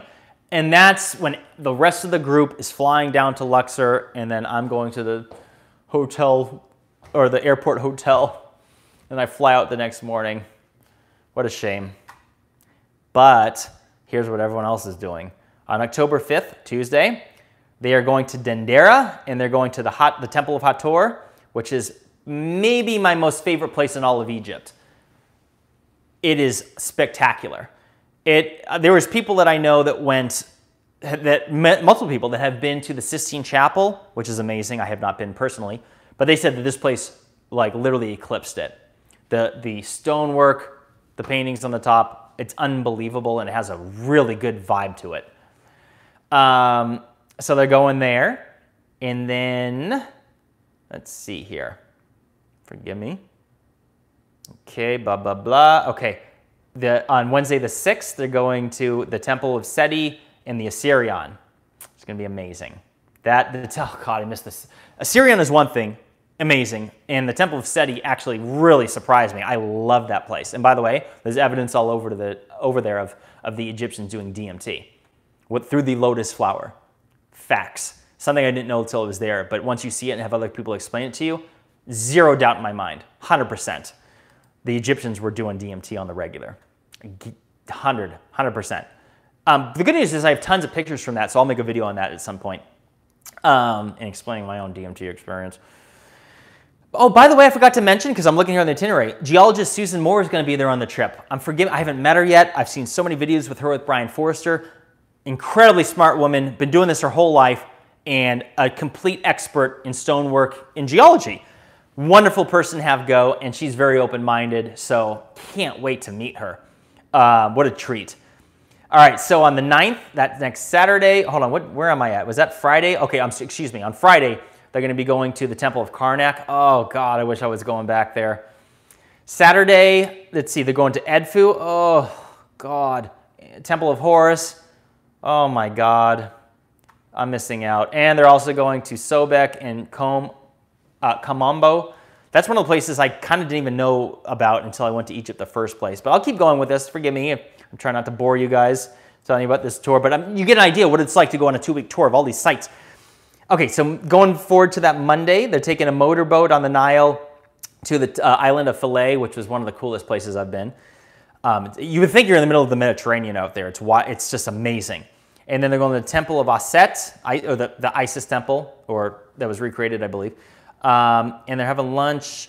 Uh, well, it doesn't matter. Let me keep going. On Tuesday the 12th, I'm almost done here. They're going up the Nile River and they're going, um, they'll be at the same place that from uh, Raiders of the Lost Ark was filmed and some other spots, but they're going to, let's see here. Um, they're going to Tanis. Wonderful. I'm missing Tanis. Evidence of the cataclysm, guys. And lastly, I'm wrapping this up, forgive me, but I want to share all this. On the 13th, Wednesday, at the end of the tour, basically, they're all going to the Valley Temple and they're going to go into the spas, uh, Paws of the Sphinx. And then uh, following from there, they're going to go to the Great Pyramid. And then day 14, which is an extra day, which is optional, people will be able to go into the Osiris shaft because not everyone likes going down there. It's literally the creepiest place you can imagine. The creepiest place I've ever been in my life is the Osiris shaft. Not just because it's 100 feet underground and it's dark, but like I stepped in human bones down there. Like this place is littered with centuries of history that hasn't been cleaned up, and who knows whose bones those were. My God. Um, and there's something about it, like like the pyramids have a good vibe, the Temple of Hathor has a good vibe, the Cairo Museum had a really weird vibe. It was a bit depleting. Some people don't understand how vibes work. It's a thing. Not everyone has to agree with it. You can think it's woo-woo, fine. But um, I'm convinced. But um, the Osiris shaft was, I was in there for 30 minutes and I left. I wanted to get out of there. It had a terrible feeling, guys. I felt that way in the Valley of the Kings too, surprisingly. I wasn't expecting that. Okay, Letar Lindfest, I can't pronounce that, but it's Czech. Thank you so much. It's generous. You said, hello, Jimmy. Whenever I talk to mainstream historians, professors, and so on about a pre-flood civilization or human beings, then we think, hold on. I feel like you cut off, you may have hit send before. Whenever I talk to mainstream historians, professors, and so on about a pre-flood civilization or human beings being older than we think. Um, I don't know where you're going with that, but I'm sure they don't believe it.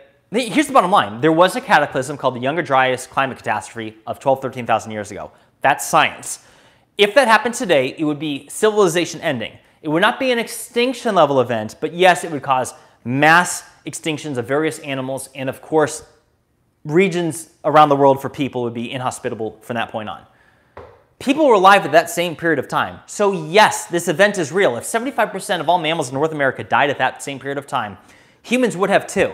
It's there. They don't want to believe it. There's no evidence. There is evidence. Göbekli Tepe's evidence. 12,000 years old. Oh, oh, don't get me going. it's so fun chatting about this stuff. All right, Nemo Nova, good morning, or excuse me, good journey to you, uh, fellow traveler. I'm one of your patrons. Thank you so much. All my generous patrons, uh, Patreon followers. Guys, I'm not asking, but if you, you know, all that support goes a long way with me. Oh, and I want to mention, so I set up a Venmo. Venmo is like this big thing now right? Everyone uses Venmo. So if you look at my description, I have my username on there. I just set it up recently, which reminds me, Wells, thank you so much for being my first donor. He knows who he is. What a generous individual. Helps get me some of this camera equipment, by the way. Um, so it's bright underscore insight. It's pretty awesome. If you want to just tip me there because you like what I'm doing, great. If not, I love you anyway. Um, all right, so he says, we look forward to hearing from you when you get back. You bet. Hey guys, that's the plan. I've, I've said this before for you, you know, those of you that have been following me for a long time, but this is the opportunity to get my momentum back. You know, momentum's a real thing, and now it's like, now I just need to get back on my grind and make videos nonstop. It's really hard when I take breaks, because then it's like, because what I do, it's not easy. Like, there's a lot of effort I put into to creating these videos. I do it all alone. I'm not great at editing. It's actually my least favorite thing to do in the world, maybe, which is one of the things holding me back. I was looking for an assistant for a long time, but nothing panned out. So now it's time for Jimmy to man up and get this shit on the road, this show on the road, right? Not Jackie Chan. We love you, Jimmy. Thank you for your awesome channel. I think aliens were humans who left the planet long ago before Cataclysm. So hey, I have a thought, just an idea. What if, what if the moon is the ark? Because I kind of think that may have happened. Now, hold on, I'm not convinced. I can see it now. Oh, Jimmy's insane. He's convinced that, you know, humans left the planet Earth thousands of years ago. What a, you know, he's a crackpot, pseudoscience. Ah. Guys, anything's possible. You don't know what the hell happened here 10,000 years ago. You don't. You, do, you don't. Um, and it's fun to talk about nonetheless. So that's one reason to come on these tours, because then I open up big time. I'm careful what I say on the internet because, like, you got to be, you know, I want to be responsible. If I say something like it's a certainty, some people might just believe it because I said it. I would like to think most won't because people think for themselves. People are smarter than people give credit to. But, you know, but if you want to know what I really think, come on a tour. Because uh, then, you know, put like two beers in Jimmy and he'll open right up. Um, Michael Wiggins, they've discovered a set of ruins older than Göbekli Temp, uh, Tepe now. Where at? Please tell me. Um, A. Efizi, incredible content, live from Ethiopia. Thank you. Um, and speaking of live, so I don't know what time it is out there in Ethiopia. Must be nine or 10 hours ahead right now. So when I'm in Egypt, it's nine hours ahead of Phoenix. So let's say that'll be six hours ahead of New York, I believe. Um, so when I do that live stream, it's hard to say what time I'll, I'll start, but let's say 2 p.m., 3 p.m. in the afternoon at the latest. So it'll be a little early for many people out here, but that made me think about that. Um, let's see here. Shut up, mystery man. That's not nice. you didn't even spell it wrong. You didn't even spell Ethiopia right. So joke's on you. Love you all though, by the way. Um, let's see here. Mm. Thank you, Matthew Rubio. The historian uh, Herodotus talks about a giant labyrinth south of the pyramids. Have you heard about it? Yes, I've been there. On the ground that's above it. It's said to be there, and there was. It's all buried now, but there's tons. And when I say tons, I'm talking countless, millions of pottery shards all throughout. It looks like a huge wave of of mud went over it, if I'm being honest. And there was, if there was one spot that had the most military and guards around us, it was there. And it wasn't for our safety. They were watching us. It's there. There's said, there's said to be a labyrinth there. That's like known. Like it's. I mean, this is some. This is science, by the way. Um, and out of all places that they were like watching us like hawks, yeah. So, and there's said to be some. There's underground tunnels and uh, chambers underneath the Giza plateau. Let me tell you.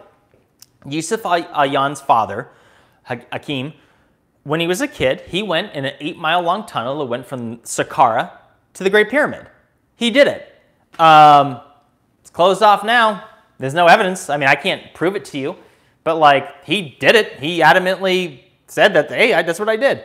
And so that's the thing, guys. Why would they cover this up? Why would they prevent people from like discovering this? And I, what I think is, if, if you want to know if, if there was some real conspiracy here, I'll, I'll, I would say that I think it's very simple in that maybe it has to do with that, you know, Egypt is an Islamic country where the government and the laws that exist in it are Islamic in nature. And if there was ancient evidence that came to light that would essentially debunk or contradict that, you know, religion itself, there you go. That's my best guess. Or they found some underground stuff and there's tons of loot in there and money and gold and treasure and they're just, just you know, siphoning it to all hell and, and you know, that's another idea too. A. Ephesi, you got another one here, says, they obviously don't have dictionaries wherever you're from, Mystery Man. Oh, spend $5 just to show him up. Ephesi, don't worry about him. And he, don't mind those jokes. You're a wonderful man, and um, the joke's on him. And Mystery Man, I love you too, guys. Don't be silly with each other. But that is funny. Pay $5 just to let someone have it. Well done. Um, all right, someone's asking me, Ernest Suarez, Jimmy, will you ever visit Mexico pyramids? This, see, this is why I like to repeat things. I said this earlier in the, in the live stream, which is that yes, so I want to put on a tour to go down to um, the, uh, the Yucatan, excuse me, which is, you know, southern Mexico, not far from Cancun, a couple hours from there and go to Chichen Itza, as well as go more west over to Teotihuacan. I want to go to Mexico for a number of reasons. You don't need any uh, testing to get in there or any vaccine or anything like that. They're not even enforcing masks. I want to go someplace like that. Um, you go wherever you want to go. That's where I want to go. And I've never been, and I've been hearing so many great things about Mexico. When I was growing up, especially being from Phoenix, you hear weird things, especially along the border, you know, because there's cartel and other stuff. what I learned, there's this lovely woman, Claudia, uh, that I met in Peru that was on the tour with her husband, Richard, and um, wonderful people, by the way. And she's from Mexico.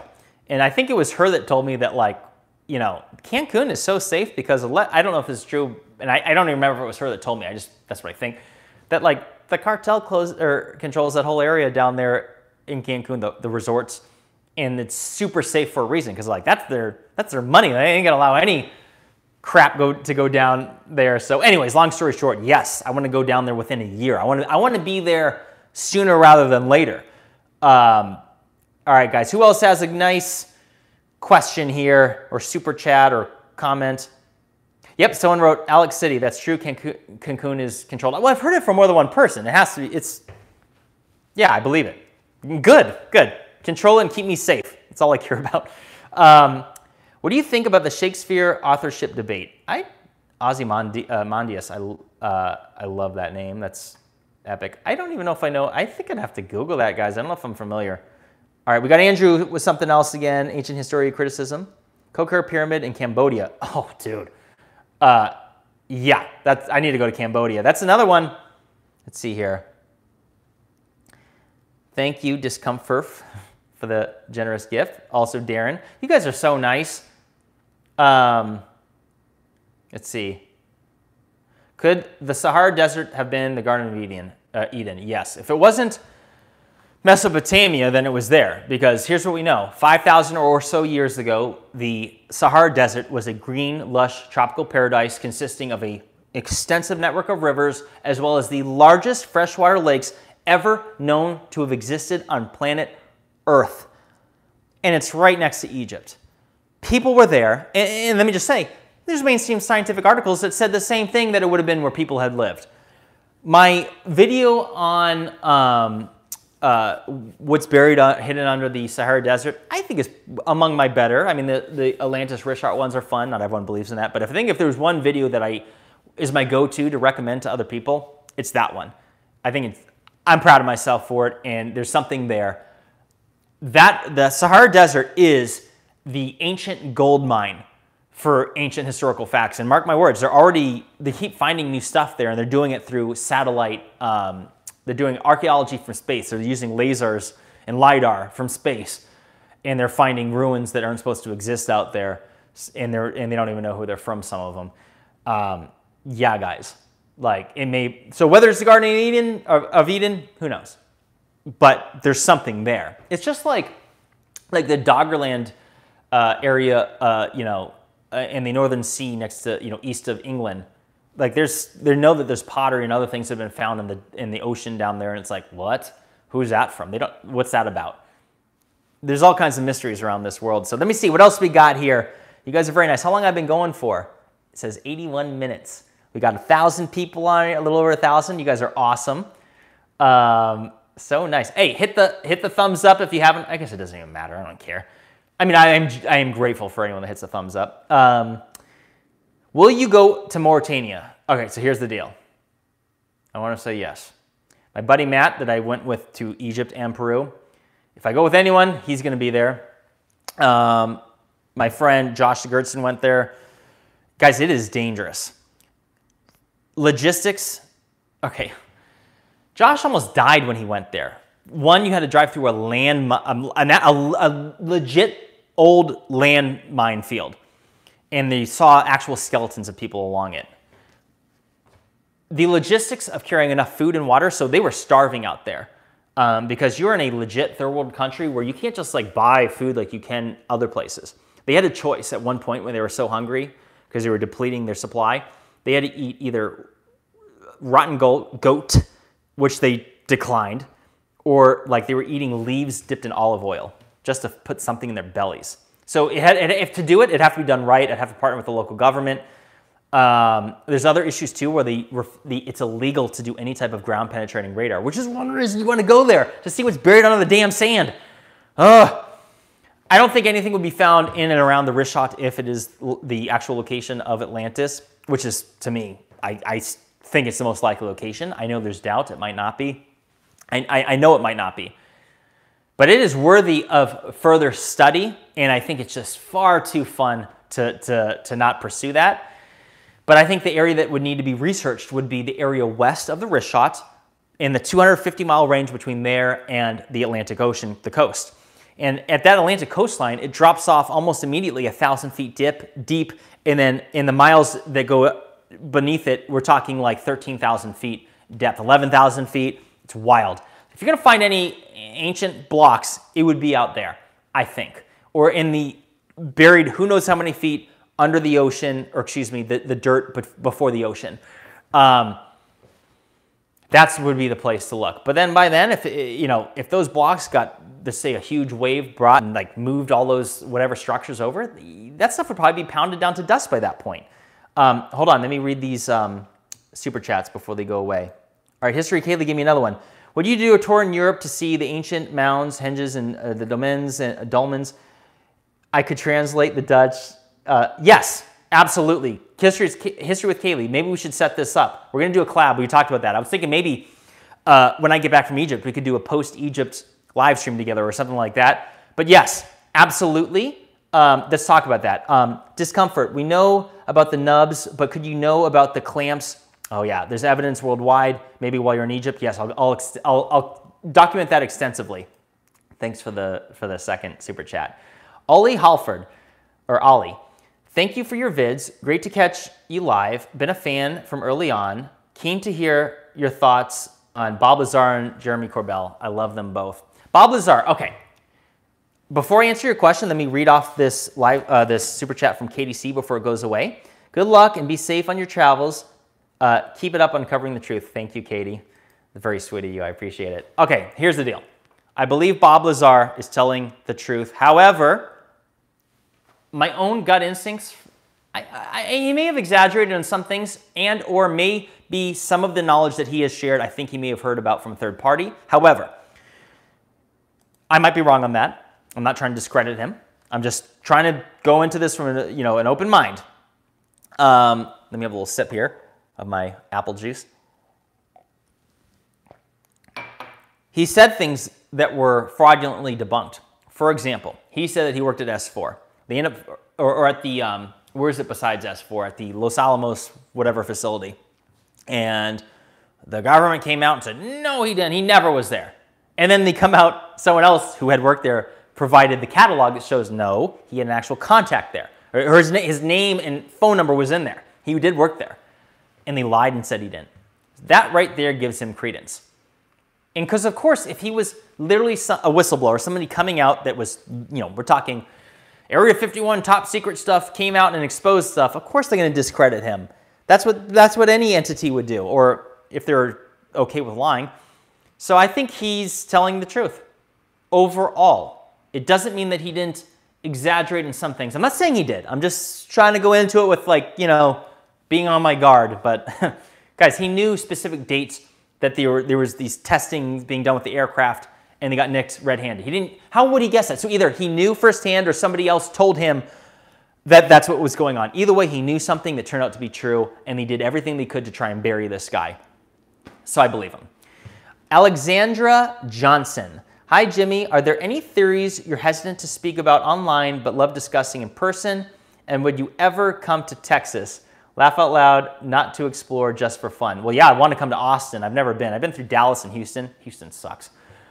I love, well, I've had fun in Houston, but anyone that lives in Houston, forgive me for saying that, but they all say the same thing. Everyone I've ever met from Houston is like, you know, they're living there for work, whether it's the oil industry, medical field, or whatever, and they're like, you know, this place sucks. But there's some fun places down there in, in Houston, like was it Washington Avenue?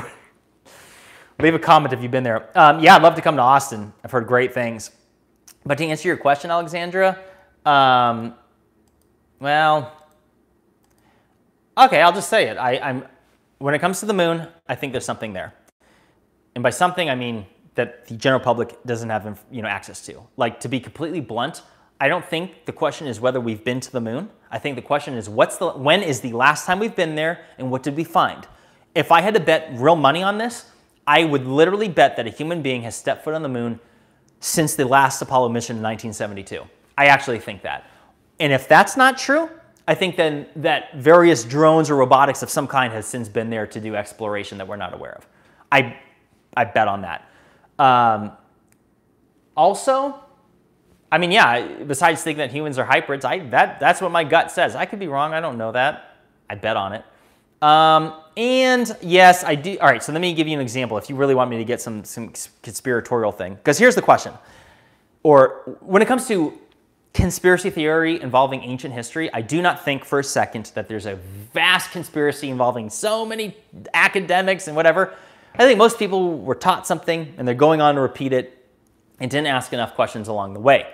However, if there is some sort of cover up, some people, maybe a small amount of people, are in on it. And I think that's quite interesting that some of the most powerful people on earth have a fascination with the Egyptians. For example, uh, let me, because this is touchy. Um, did you know? All right, so let me, uh, let me be, I gotta be careful in this. I would argue that the pharmaceutical companies, the biggest ones, are the most powerful entities on earth now. They are kings. Whether it's their control over politicians and the media, these people have done it. No one has been more successful with, than them. So much so that they're above the law. This is true. And they, certain pharmaceutical executives and companies, have given their families, I should say, have given enormous amounts of money towards Egyptian antiquities and museums around the world in support of ancient Egyptian antiquities. I don't know if you know that. Let me give you an example. The Purdue family. Purdue Pharma, you know, the ones that lied under oath about the opioid epidemic, the, create, uh, the creators of OxyContin.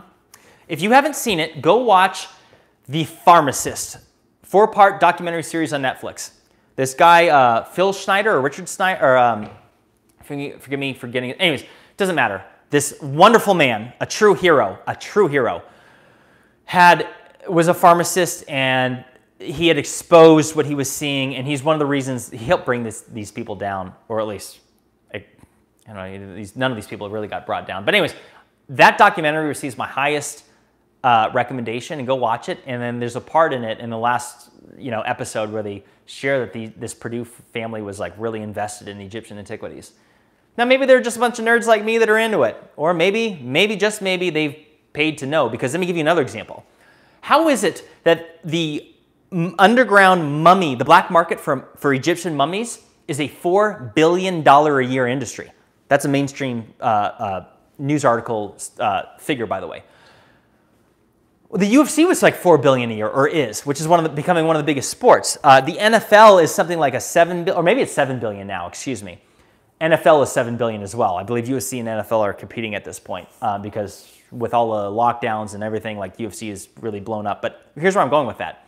If you have the whole NFL being like a $7 billion a year industry, which is seems like it's going down, by the way, they're losing viewers and money and other things, and you're talking about $4 billion a year, just to put in perspective, that means that some of the rich, who do you think's paying this money for these mummies uh, and other various relics from ancient Egyptians? We're talking about the richest, most powerful people on earth that have actual, like real disposable income, that are buying this shit up and they probably have their own little museums in their basement, and God knows what they're doing. They're probably having like people over and they're drinking brandy and like, come down here and look at, look at this pharaoh that I, this dead pharaoh I have buried in my basement or you know on display. So yeah, I don't know. I hope that answers some questions and gets you thinking.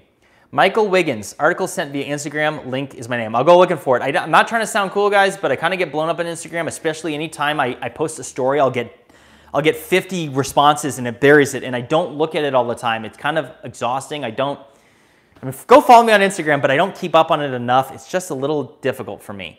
I don't know if I just missed somebody's super chat, but let's see here. I got one from Vector Force. $20 and just, just a tip. Thanks, brother. No question, no comment. That's very nice of you. Um, what else do you guys want to know and talk about? I'm on a roll here. Hopefully, well, let me see. It's not showing me my phone battery, but I'm just going to keep going. Yeah. What are you guys saying? Mm.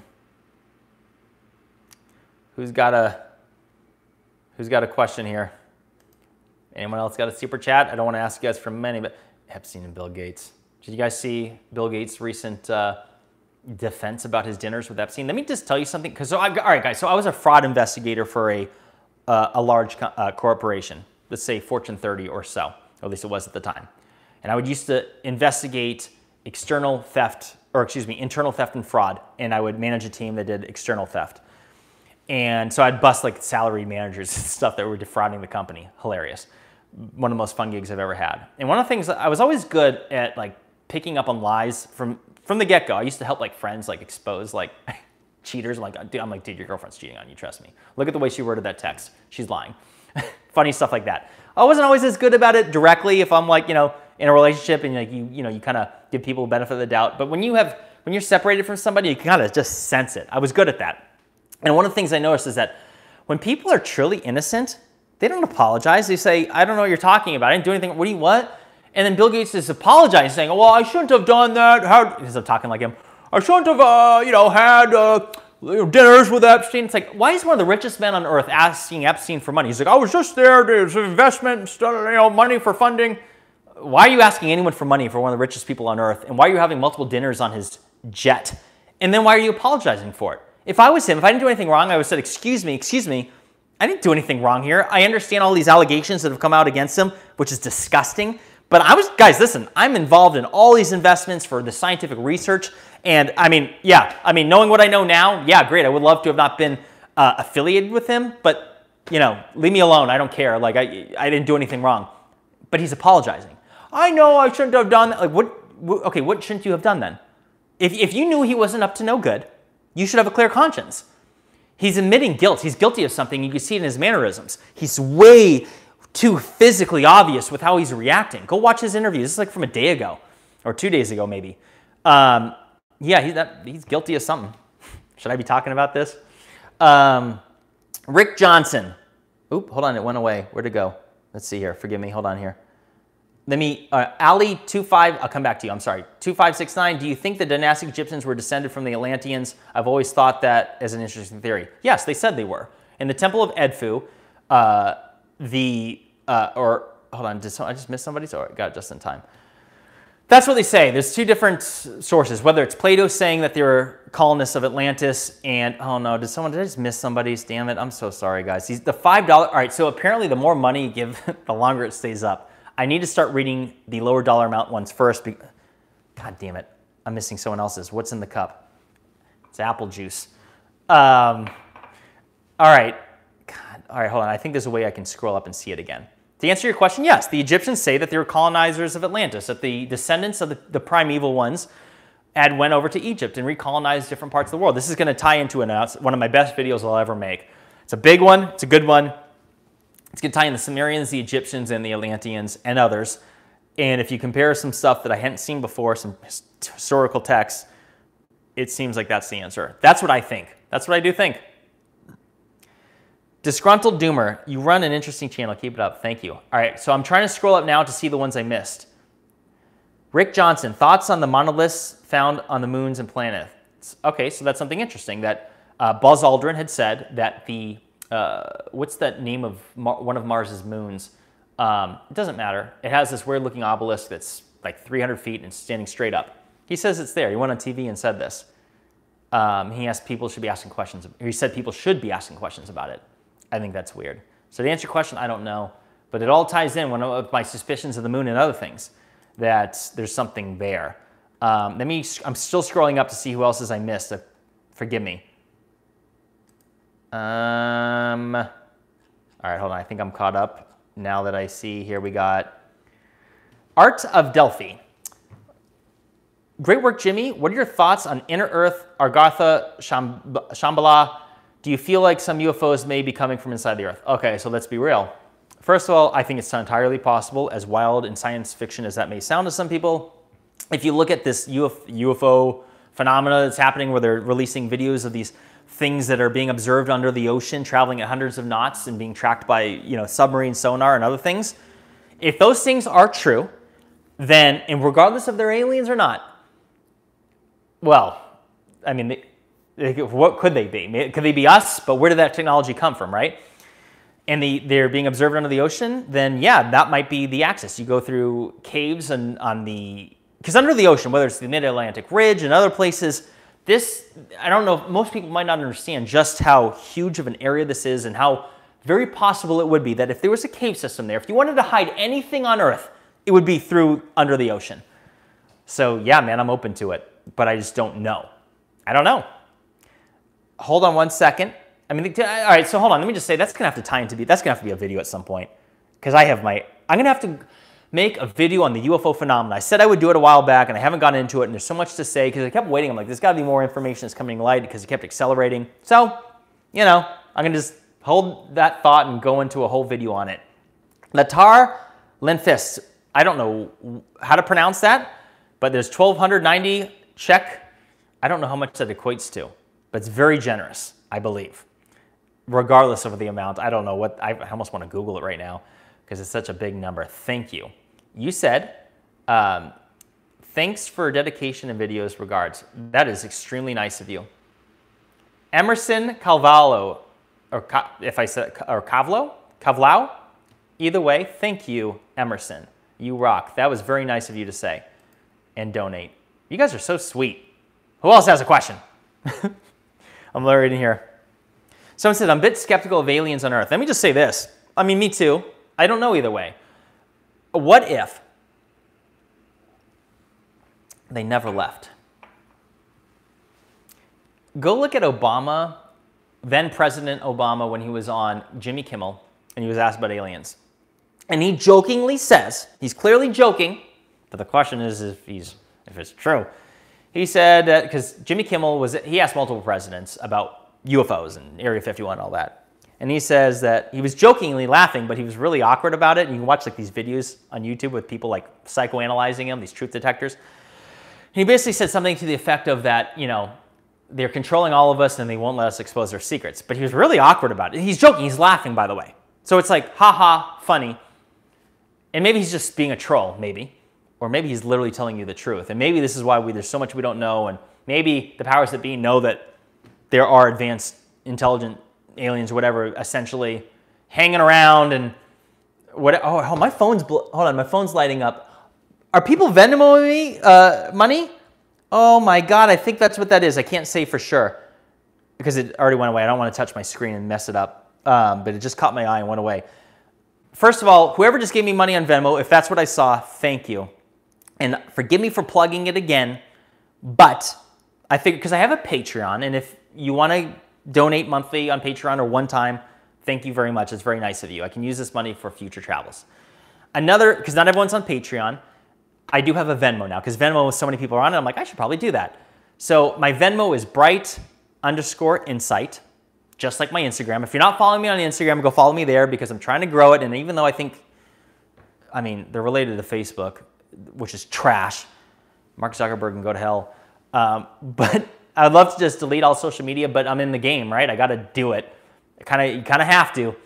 So follow me on there because I'm going to be posting, and I do post like when I travel Peru and Egypt, you know, things every day. So you'll just see far more on there than you'll see anywhere else, and it's a fun way to stay in touch. And you know, you can DM me on there. There's so many people I haven't been able to respond to on DM, and forgive me, but the love is there, and I'm so grateful. So yeah, if you want to tip me on Venmo, and let me use that money for various endeavors and future travels and just support or whatever, I'm very grateful. Um, Saul A. What are the oligarchs hiding in existence a pre-cataclysmic worldwide flood? Well, that's a very good question, isn't it? And if all these pe powerful people are super interested in the ancients, which they are, many of them, uh, think they know something we don't, but maybe not. Hey guys, it's a big conspiracy. Conspiracies exist. People conspire every day to do things on the DL that are illegal or otherwise immoral and out of sight from the general public. That's a fact. Conspiracy theory was created, the word, because it's so negative. It is a fact that the CIA did create that term during when the, a couple years after the JFK assassination, when the theory started really developing, that word was created in direct response to that. Conspiracy theory, that term, was created because of that because it's condescending. It works. It's very effective, actually. Are you a conspiracy theorist? And people like, well, no, right? No one wants to be labeled. Okay, uh, Brendan does things. What type of phone will you use to record with you on your trip? Okay, so I have an iPhone 12 Pro. It's very good. Um, however, and I'm going to use that, but this time I will be using a selfie stick, which will be far better. However, my best videos that I'll, I'll be using that to do Instagram stuff. So follow me on Instagram so you'll be able to see these things. Um, however, for actual quality videos, for future videos, uh, like YouTube videos, excuse me, I'm going to be using this bad boy. So I shared this earlier in the in the live stream, but there's new people on here. By the way, there's a thousand people on here. You guys are awesome. Um, this is a DJI Osmo 2. This thing is badass. It is a 4K 60 frames per second wide angle, and it is unbelievably good quality. It can do pictures and video. It's got a joystick. This thing, it, it, it will follow your face. It will also, um, what am I thinking of? Uh, reduce um, shake, what do you call it? There's a terminology for it. Anyways, so you're carrying it around and, it, oh, stabilization, excuse me. This thing is badass. I'll be using this and it also has a wireless Bluetooth microphone of high quality. Hells yeah. Then I have my mirrorless HD camera, which I brought uh, to Egypt last time, but this time I'm gonna have a polarizing lens, which will be better, uh, uh, as well as this big light, which I was sharing earlier. Hold on here. And it, it, it has multiple shades of color. You can do, you know, see that? This thing is far brighter than you see. This thing is gonna, this lens already picks up on low light sensitivity quite well. This is gonna make a phenomenal difference, particularly when I'm in the Serapeum with those 100 ton stone boxes. Um, so let's see here. Um, Vector Force, thank you again. Have you heard of the Emerald Tablets of Thoth and the Atlanteans? Absolutely. Um, I okay. I just need to make a video on that. Um, there's some interesting things about the emerald tablets because isn't it still a mystery where they came from? And wasn't it Isaac Newton that had deciphered them? Um, I, I find as above, so below to be extremely interesting, which to me almost gives it some credibility. I feel like it could be evidence of ancient knowledge and wisdom that was passed down and they were trying to share it. So I don't necessarily remember the Atlanteans being included. I've read that before, but I feel like when I had read about it, I don't know where I saw that that was included. Forgive me. I'm on the spot right now and I haven't looked into it in a while. Um, let me scroll down because I just missed, I think, another person's super chat. Let me see if I can scroll up. Yeah, Rick Johnson. Can you see the ancient copper wiring in the pyramids? I didn't.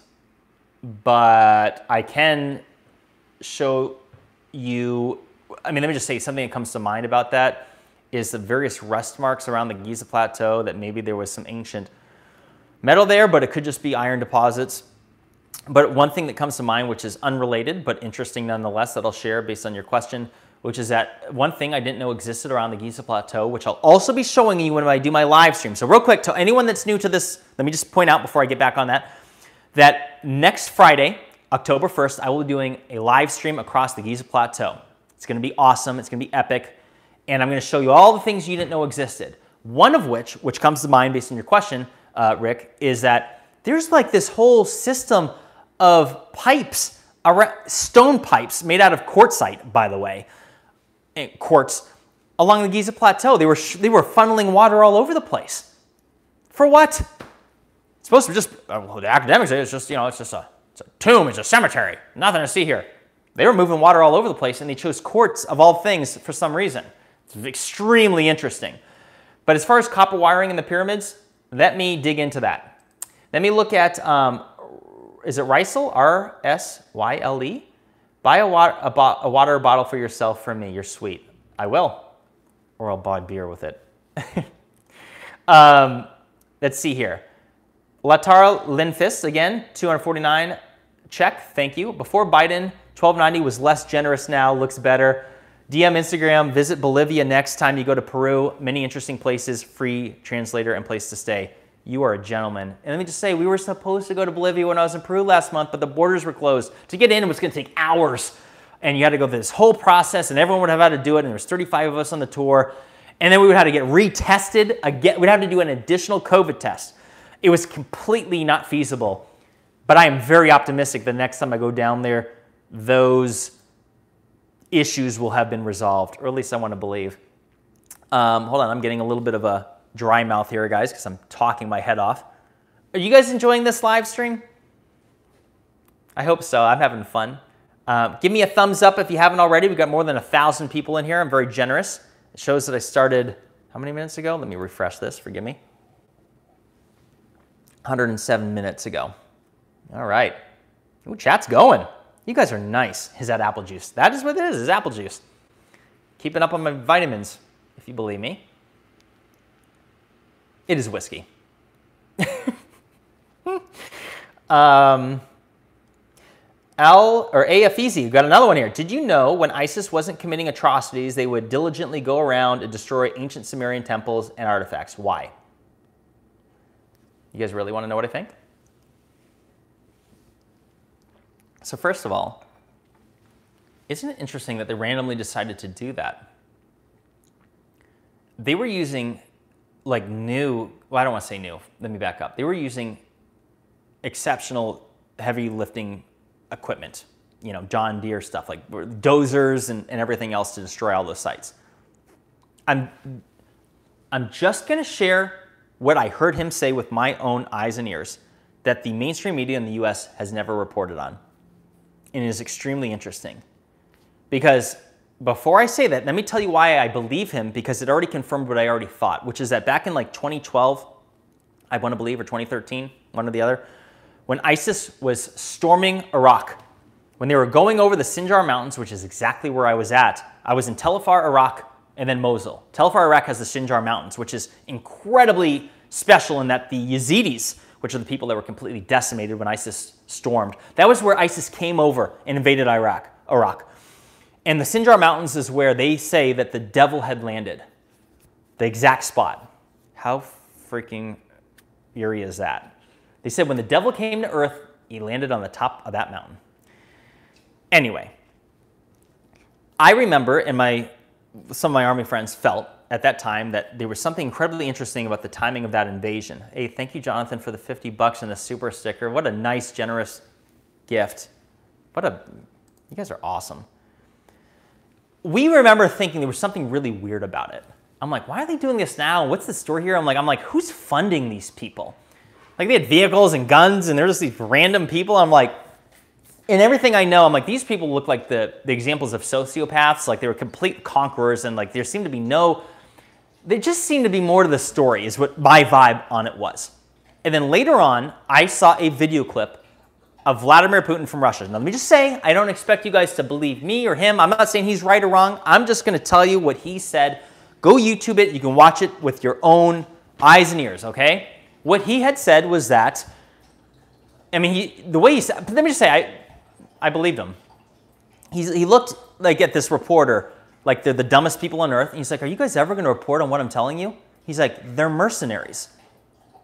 He said that ISIS were mercenaries, which means that somebody's paying them to go do that. And I'm like, why are they like messing with this uh, gate of Nergal and, and these, these, these statues and, and, tearing all this down? Like, why, like, are, why are they bothering? I, I just felt and the way it was reported too, I'm like, you had the media there ready to go, and ISIS is destroying these sites. The exact site that I was at, right there where I had stood. I just thought that was weird. Now, I don't know who's paying it. Well, I, I have an idea, and I'm not going to say that right now. I'll save that. So someone asked me earlier what things I don't want to talk about. I'm like, I'll leave that, I'll, I'll hold off on saying that on the live stream. But, you know, in person, I would happily say what I think is possible. But I just thought that was interesting. He said that, and he said it, I, I kind of just believed him. I, I'm like, he seemed to just be sharing it. And the fact that the U.S. never even addressed it, because they could have, you know, tried to debunk him or whatever. I just thought that was interesting. So to answer your question, I feel like maybe there was some people that had that that went out of their way to make sure those sites were destroyed. Now, why? That's a really good question, isn't it? I don't know why. I don't know who did it. I don't know why. But something happened, and these people seem to be funded. I'll say that too. It just seemed to make sense. From what I know about just logistics and, I mean, even like getting, I mean, this just stole everything, right? But I don't know. I'll get off that topic. It's a little dark. Ancient history criticism is still here. Andrew, you need to come to Egypt. I'll be thinking about you, brother, when I'm in Egypt next week. I'm going to make sure I get sweet, because last time I was there, I sent you the sweet photos of the various nubs around the plateau that were in some weird spots besides just the pyramids, or the, the third pyramid, Pyramid of Kare. Um, anyways, no idols allowed in their religion. Okay, there you go. That could actually make total sense, right? Yeah, just destroy it. It conflicts with your modern religion, and they're like, what the F is this? Goodbye. It could be that simple, no conspiracy. You just want to get rid of it. Just like we've seen throughout history, whether it's the Spaniards invading Peru and destroying all their crap, which I witnessed, which was unbelievable. I didn't realize. It's very comparable to what had happened involving the, um, the colonizers of the United States overthrowing and destroying and conquering the Native Americans. So, ancient history. All right, next year maybe. We got to make it happen. Um, all right, we got Jordi Lancel. It's past 2 a.m. here already in the Netherlands. I'm heading out. I'll talk to you in Egypt on Friday. Take care of yourself, man. Jordi, I'll remember that. Jordi Lancel. See, this is just so much fun because the same thing happened when I was in Egypt last year. There's a couple people. Dude, I was watching your live stream and I left a super chat. I remember Aaron. Aaron, if you're seeing this, you're wonderful. Um, but it's the same thing. And all of a sudden, next year, or excuse me, week, I'll be at the Marriott Mena house and someone named Jordi is going to come up to me like, hey, that was me. And I'm going to be like, that was you. And I'm going to buy him a beer if he wants to drink.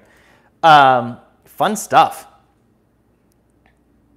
Jimmy, take me with you. I'll be your bodyguard. I'm 6'4". Keck is his name. Fuck, hell yeah. I need it. I think I could throw down a little bit. I'm very, but you could always use some bodyguards, right? I'm not, a, I, I think my best advantage will be seeing danger right before it happens. It's hard to get the jump on me. But hey, you get the jump on anyone, right? That's a real thing. Um, but that's dark. We'll go on to the next thing. Um, Jimmy, wish I could go with you. Unfortunately, we're not. We're all locked down Australia. Oh my God. Let's not talk about it. You, oh my God, my poor friends in Australia. I'm seeing what's going on. I'm watching the video. If you guys aren't aware of what's happening in Australia and Melbourne and other things, you need to be paying attention now more than ever. I'm thinking about you guys. But let's get off that topic. I don't want to get in, this into a whole. This is, you know, because guys, I got to, you know, choose a hill to die on. And right now, it's, well, it's not premature. Now's the time to speak up. But what I'm saying is that for me, I got to be very careful on the things I'm choosing to talk about. And I can't talk about everything um, until the timing's just right. And then who knows. But let's get on. Jimmy, how's your love life? Uh, who's asking? Ernest. I've been doing the online dating apps, which are hilarious. Um, I've met some nice people, but who knows? Um, someone here, do you use roids? Just go to the gym. no, I, have never used roids. I'm not that big. I mean, I'm, I'm vascular, but I've always been vascular. But I do go to the gym. I was there this morning, begin back into it, and um, it's very nice of you to say. That's a compliment. Asking if I've been on roids. No, roids would break me down. My God, I, no one should use that stuff. That stuff catches up with you. You know, like injuries later in life and other things. Um, let's see here. Jimmy is a daddy. No, I'm not. I don't have any kids. Yeah, hell yeah, I'm a daddy. I got Sawyer. Come here, Sawyer. Let's see. Let's see. Let's uh, hold on one second, guys. Hi, Sawyer. What's going on? Look at him. You having a good time? Good boy. Good boy. it's me and the dog here. It's a total bachelor pad, guys. It's me and the dog. Good boy, Sawyer. Let's see what else we got here. Does anyone have any? Oh, oh, hold on. Am I missing someone's? Uh... Okay, Rick Johnson. Our government has many secrets that we will never know. Correct. Rick Johnson is correct. um, let's see here. What else we got? It's okay, Sawyer. Jeffrey Ball. There's a lot of things happening, Jeffrey. Um, there's a lot of things. Everyone needs to be paying attention. But guys, let's keep the conversation light. That, here's what's fun about the ancient topic. It is a chance to escape from some of the things that are going on in the world that are beyond our control or that bring us immense suffering just thinking about. And um, all right, so someone wrote, what is your travel itinerary, CCRTV? I read it off uh, probably a half hour ago or so. But if you want to see, go to Khemitology, K-H-E-M I-T-O-L-G-Y. Did I say that right? Khemitology, khemitology.com, khemitology. Uh, or go to Google, Khemit School of Ancient Mysticism. And then if on the front page, or if you click under travel or tours, you will see our entire itinerary day by day. It's all on there. Um, or when I'm done with this live stream, this will be posted and you can go back and watch and I'll list it all off, but we're going to all kinds of sites. Okay. Um, who else some stuff? Let's see. So Timothy, you're a dog person too. I am a dog person. I didn't see what you wrote before that, but um, let's see. Do I believe? All right, uh, Catman. Do you believe in the spiritual realm? Yes. I've dabbled in it. It is a real thing. I'm absolutely 100% convinced.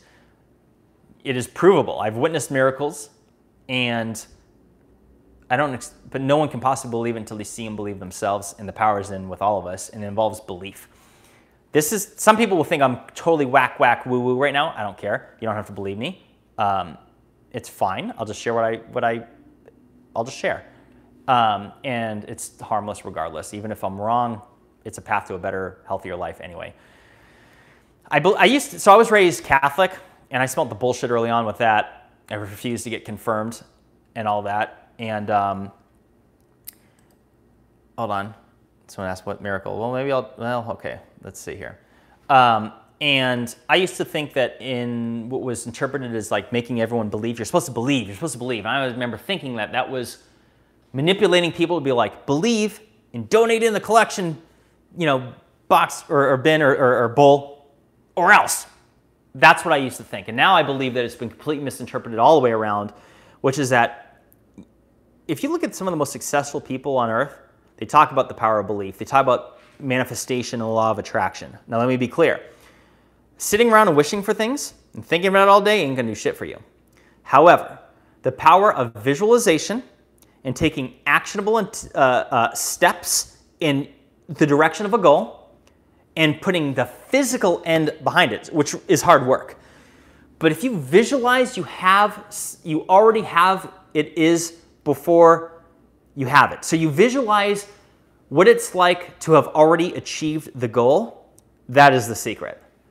It's not about picturing you you're going to get it. No, all you're ever going to have is the want. It's not about wanting something. This is, I'm convinced, all right, put, let me put it this way. If you really want to know my, my thoughts, Neville Goddard, Goddard, whatever you say it, uh, Neville, N E V I L L E, Goddard, G O D D A R D. You can watch his lectures on YouTube. He passed away in the 70s, the late Neville. Confirmed, I didn't come across him until what I believe through my all my experimentation into this topic. Um, oh, Jonathan, is that a no? Thank you. Oh, that's the same one. Confirmed what I had figured out on my own, which was when I was all right. So I got divorced. I'm living in Boise, Idaho. I'm living with the dogs at the time, and I'm just experimenting with this stuff. And I'd never been so alone, lonely, and I, I was really dabbling into the law of attraction and experimenting. And there were certain things that worked and certain things that didn't, and it took years to figure some of these things out. And what he ended up saying confirmed what I believe, which is that the, the Bible, for example, has been completely misinterpreted in that it should be reread in first term. The best way to possibly understand it would have been to write it out as if you wrote it. And that many of the things that Jesus or who else or otherwise had said was meant to be read as if you wrote it yourself. Neville Goddard explains these things in a way that to me, I'm like, confirmed what I already believe I had figured out. It is exhausting to do these things. It takes a lot of concentration, and we are so distracted with so many things in our life. And, um, but you'll never be able to do it if you don't believe. It's all about belief, belief, belief, belief. Believe you've already done it. Guys, my entire channel is an example of the law of attraction. Anyone that's followed me from the beginning saw how shit my videos were. I, I have something like 90 videos up right now, but I've made more than 200. Those of you that weren't there from the beginning didn't see the grind that I did. It's like the saying, like everyone sees the shine, nobody sees the grind or whatever. I had to, I failed so much it took me four months to get 100 subscribers is how bad these videos were. Because now people say, because I've even had some friends like, oh yeah, you're just good at it. I'm like, no, no. You didn't, do you see like the dozens and dozens of videos I made that were complete garbage? Um, and I was so awkward and I'm still trying to get better, but I'm like, some people just assume like, oh, you're just good at this stuff. Like, no, I had to literally adapt and I had to, I believe I manifested this whole shebang. I, I, I set a goal and I'm like, I want to get a million followers. It was a big goal at the time. I'm like, I believed I could do it. I just didn't know how long it would take and how much suffering I was going to require to get there. But if you believe that you can do something, you can do it. And you just got to put the, the power of intention behind it. You got to make up your mind. I'm going to do it. And you got to visualize what it will be like already having been done. And in the process, your mind will flourish with creativity. That's part of the secret, too, is that if you really want to access the creative realm, it involves the power of belief as well. Because then there's ideas that I'll, if I believe I'm going to create a, a, fantastic video, and I've done this many, many times, guys. I'm not bragging. I'm telling you what I did. I wanted to get millions of views. And then I went on the streak of getting like 11, this is a little bit ago, but I remember going in the streak of 11 videos in a row where I got more than a million views. That's a hard thing to do. And I was doing it all the time by practicing this stuff in my mind, which is I was visualizing in my heart. Here's the video topic, but what is it going to look like and then in the process, I'd be like, you know, walking my dog, just being in nature or whatever. And these ideas would come out of nowhere. I'm like, that needs to be in the video. And I was just picturing, I'm like, I'm creating a good video. And I get another idea. And I'm like, where the fuck are these ideas coming from? That's the moments that I've been the most creative. And that's why I think these things work. And I think this ties into Nikola Tesla. And I know this is so woo woo for some people. Guys, even if it's not woo woo or the spiritual realm, it doesn't matter. Maybe this is just the way that the mind can become more creative without any woo woo. All I know is that it works. Just believing that you can do something good or, or impressive will lead your brain to open up with more ideas. If nothing else at all, maybe that's just how it works. I don't know. All I know is that it works, and the power of belief is the key. Hold on, let me read some. Let me, hold on, let me read some of these. All right, hold on. I'm sorry. Moses. Hey, Jimmy, do you know there is a second older pyramid inside the Calcun, uh, uh, Calculcan uh, pyramid at Chichen Itza, and the footage is incredible. Highly recommend. Gonna go there and see it for myself, brother. Um, and I will put it on the internet. Are you gonna make more videos on Atlantis and its relationship to other civilization? Yes. One of my biggest videos that is yet to come is on that exact topic, and it's gonna come after Egypt. 100%. I'm convinced that it might be one of my best videos yet. But we'll see. Hey, I'll use the power of manifestation and, and law of attraction to do it. Um, Rick Johnson, have you heard of people that could mentally project themselves into other planets? It was a government project. I have heard of that. That was a real experimentation they did, like such as Mars and um, what do they call it? Astral projection, right? Or something to that effect. I don't know if it's true or not. But I know for sure that they spent decades investigating that, which is super interesting. You think they would have given up after a few months or a year or whatever, and they've spent years on that stuff, guys. Um, I'd be so curious. I didn't see any comments on all this stuff I was saying for the last couple minutes while I was on my little soapbox. Someone wrote, Ernest Soares, preach, Jimmy. Yes, I'm, I'm, I'm scrolling up now. I want to see what you guys were saying about this because I've heard other people, whether it's like, and, and some of you will like think these are crazy examples, but whether it's like Conor McGregor, and that's a UFC fighter, so you could say like, that has nothing to do with what I'm doing. But like many, many people, and I can name other names, but some people will, uh, Andrew, ancient history criticisms, criticisms, I get your method. Many other people, like, it doesn't matter what industry or realm you're in. I'm like, guys, there's something to the power of belief. So even if you don't think it's the physical realm, and, and by the way, that just reminded me of what I was going to say a moment ago about Nikola Tesla, saying his quote about the mind being the part of the wheelwork of the universe. If you look at Nikola Tesla and Einstein, so I need to make a video on this again, because some of my first videos were on Nikola Tesla, and those things helped me like get my channel going. My first million plus video ever was on Nikola Tesla. If you look at the works of Einstein, he was talking about how all of his ideas came through imagination and how uh, Nikola Tesla, his all the improvements he made to his inventions came from him brainstorming.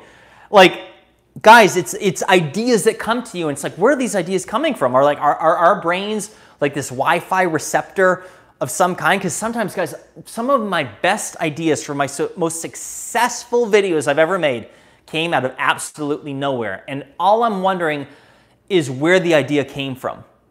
Is it a, is it a muse of some kind? It doesn't have to be beings beyond us. Could it be energies? Could it be, could be anything? I don't know. All I know is that these ideas have worked for me, and I'm convinced, and I've, I've seen them verified by other people that have, have that have done them themselves.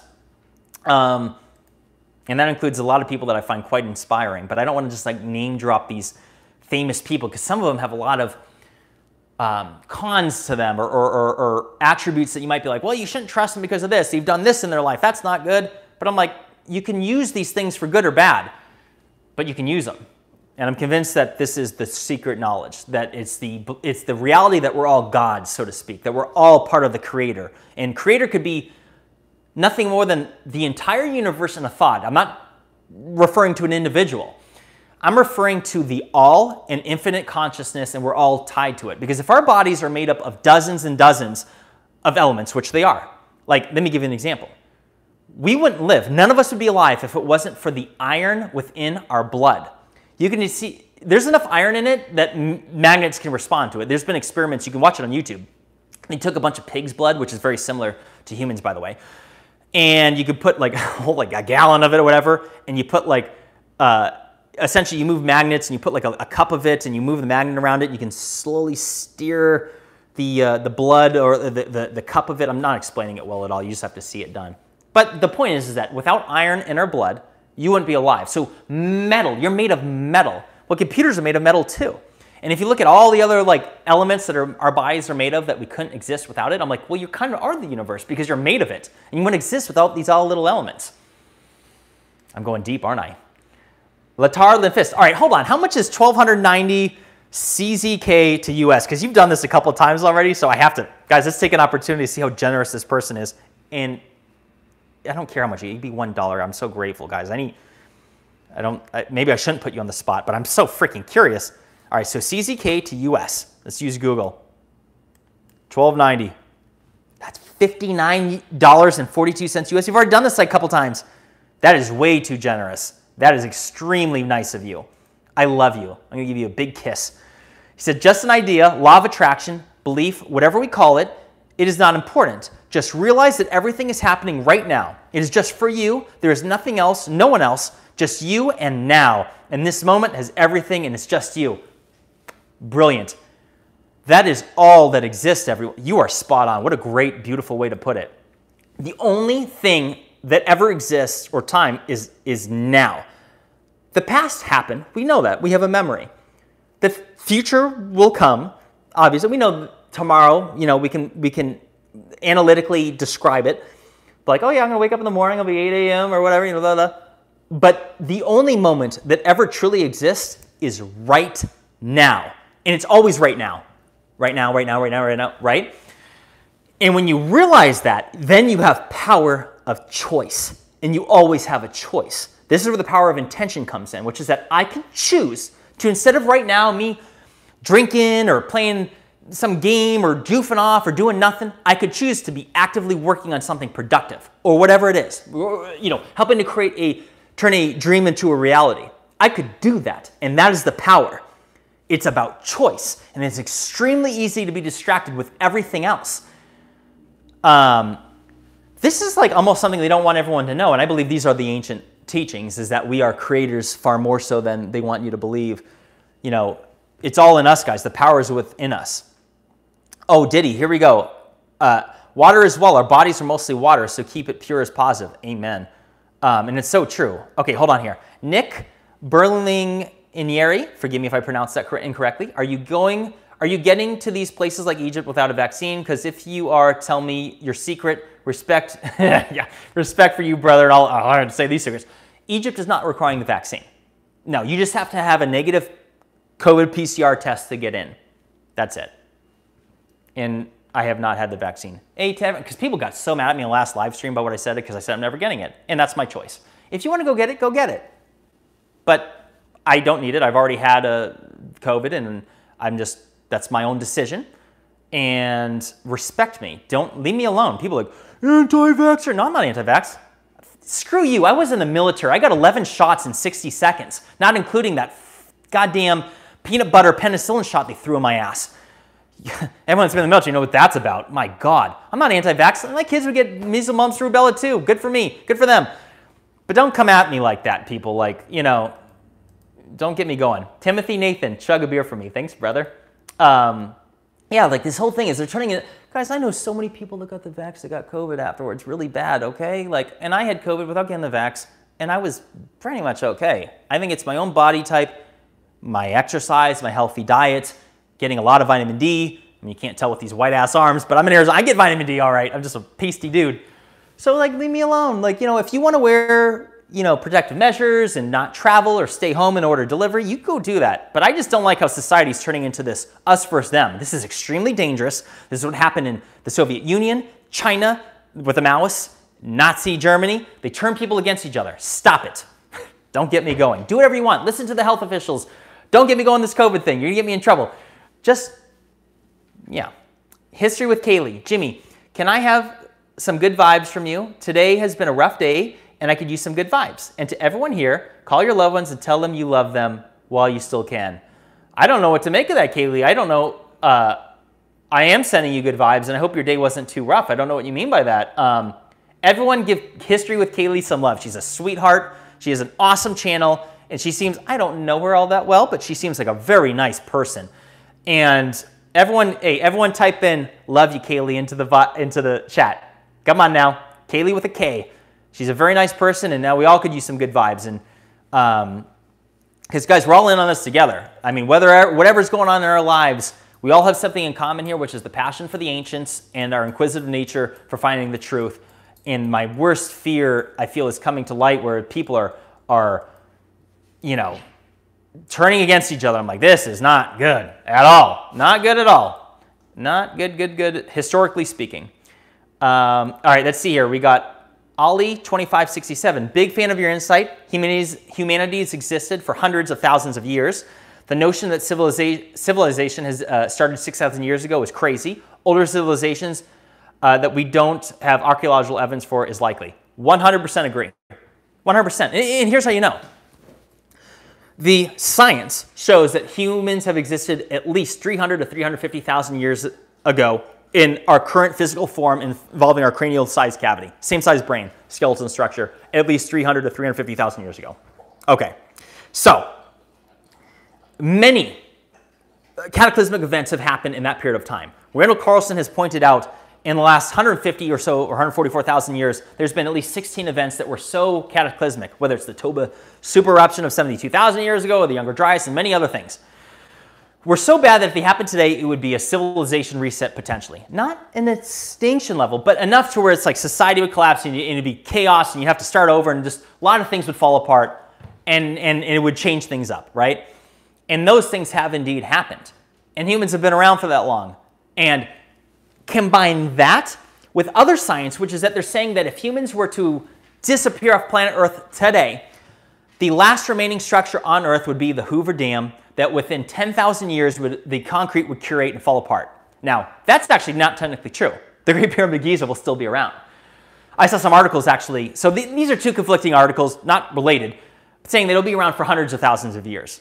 Uh, yeah, and actually, realistically, more like millions, because it's layer after layer after layer. You know how much, how much erosion is gonna have to happen just for one layer to go away of, of, of external blocks, and there's many?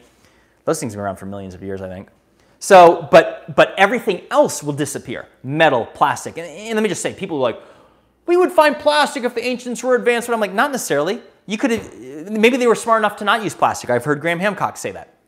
And, you know, there's other ways, you know, like for example, the hemp plant related to marijuana, cannabis, um, is completely biodegradable. Can have an unbelievably strong plastic and 100% biodegradable. There are other ways of doing things. Even stainless steel tooling, if you throw it in the dirt, it will rust away. It just takes a little bit longer. And as soon as it's scratched, it's screwed.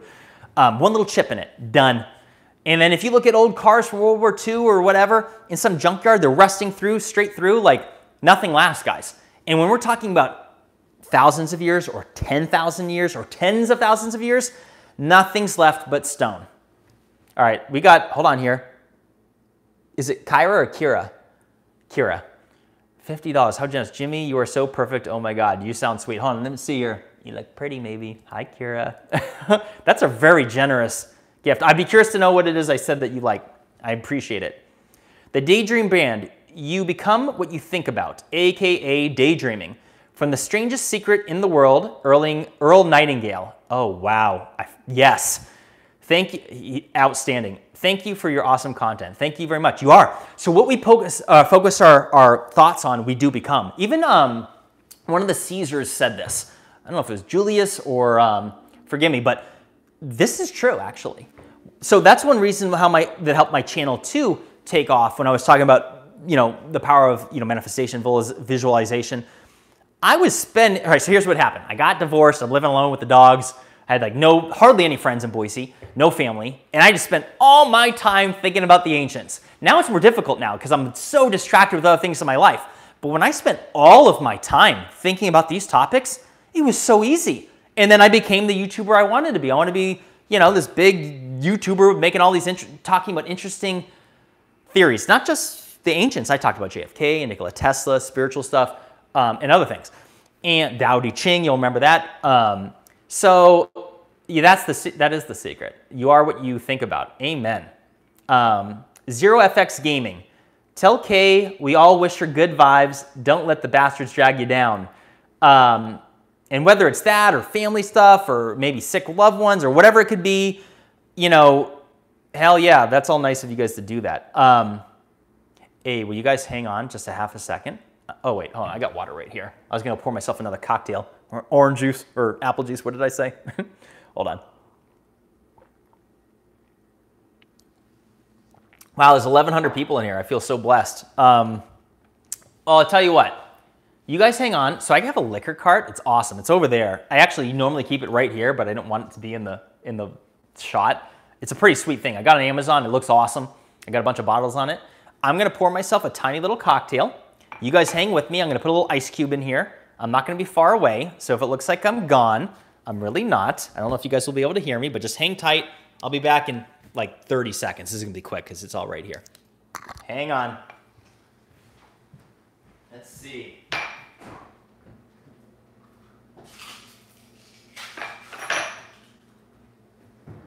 Come here.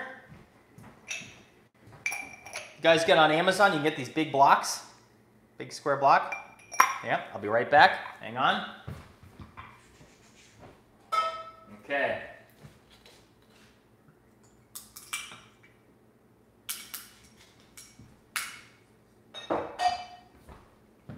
I'm going to tell you guys what I'm having, but you're going to laugh at me, but hang on a second.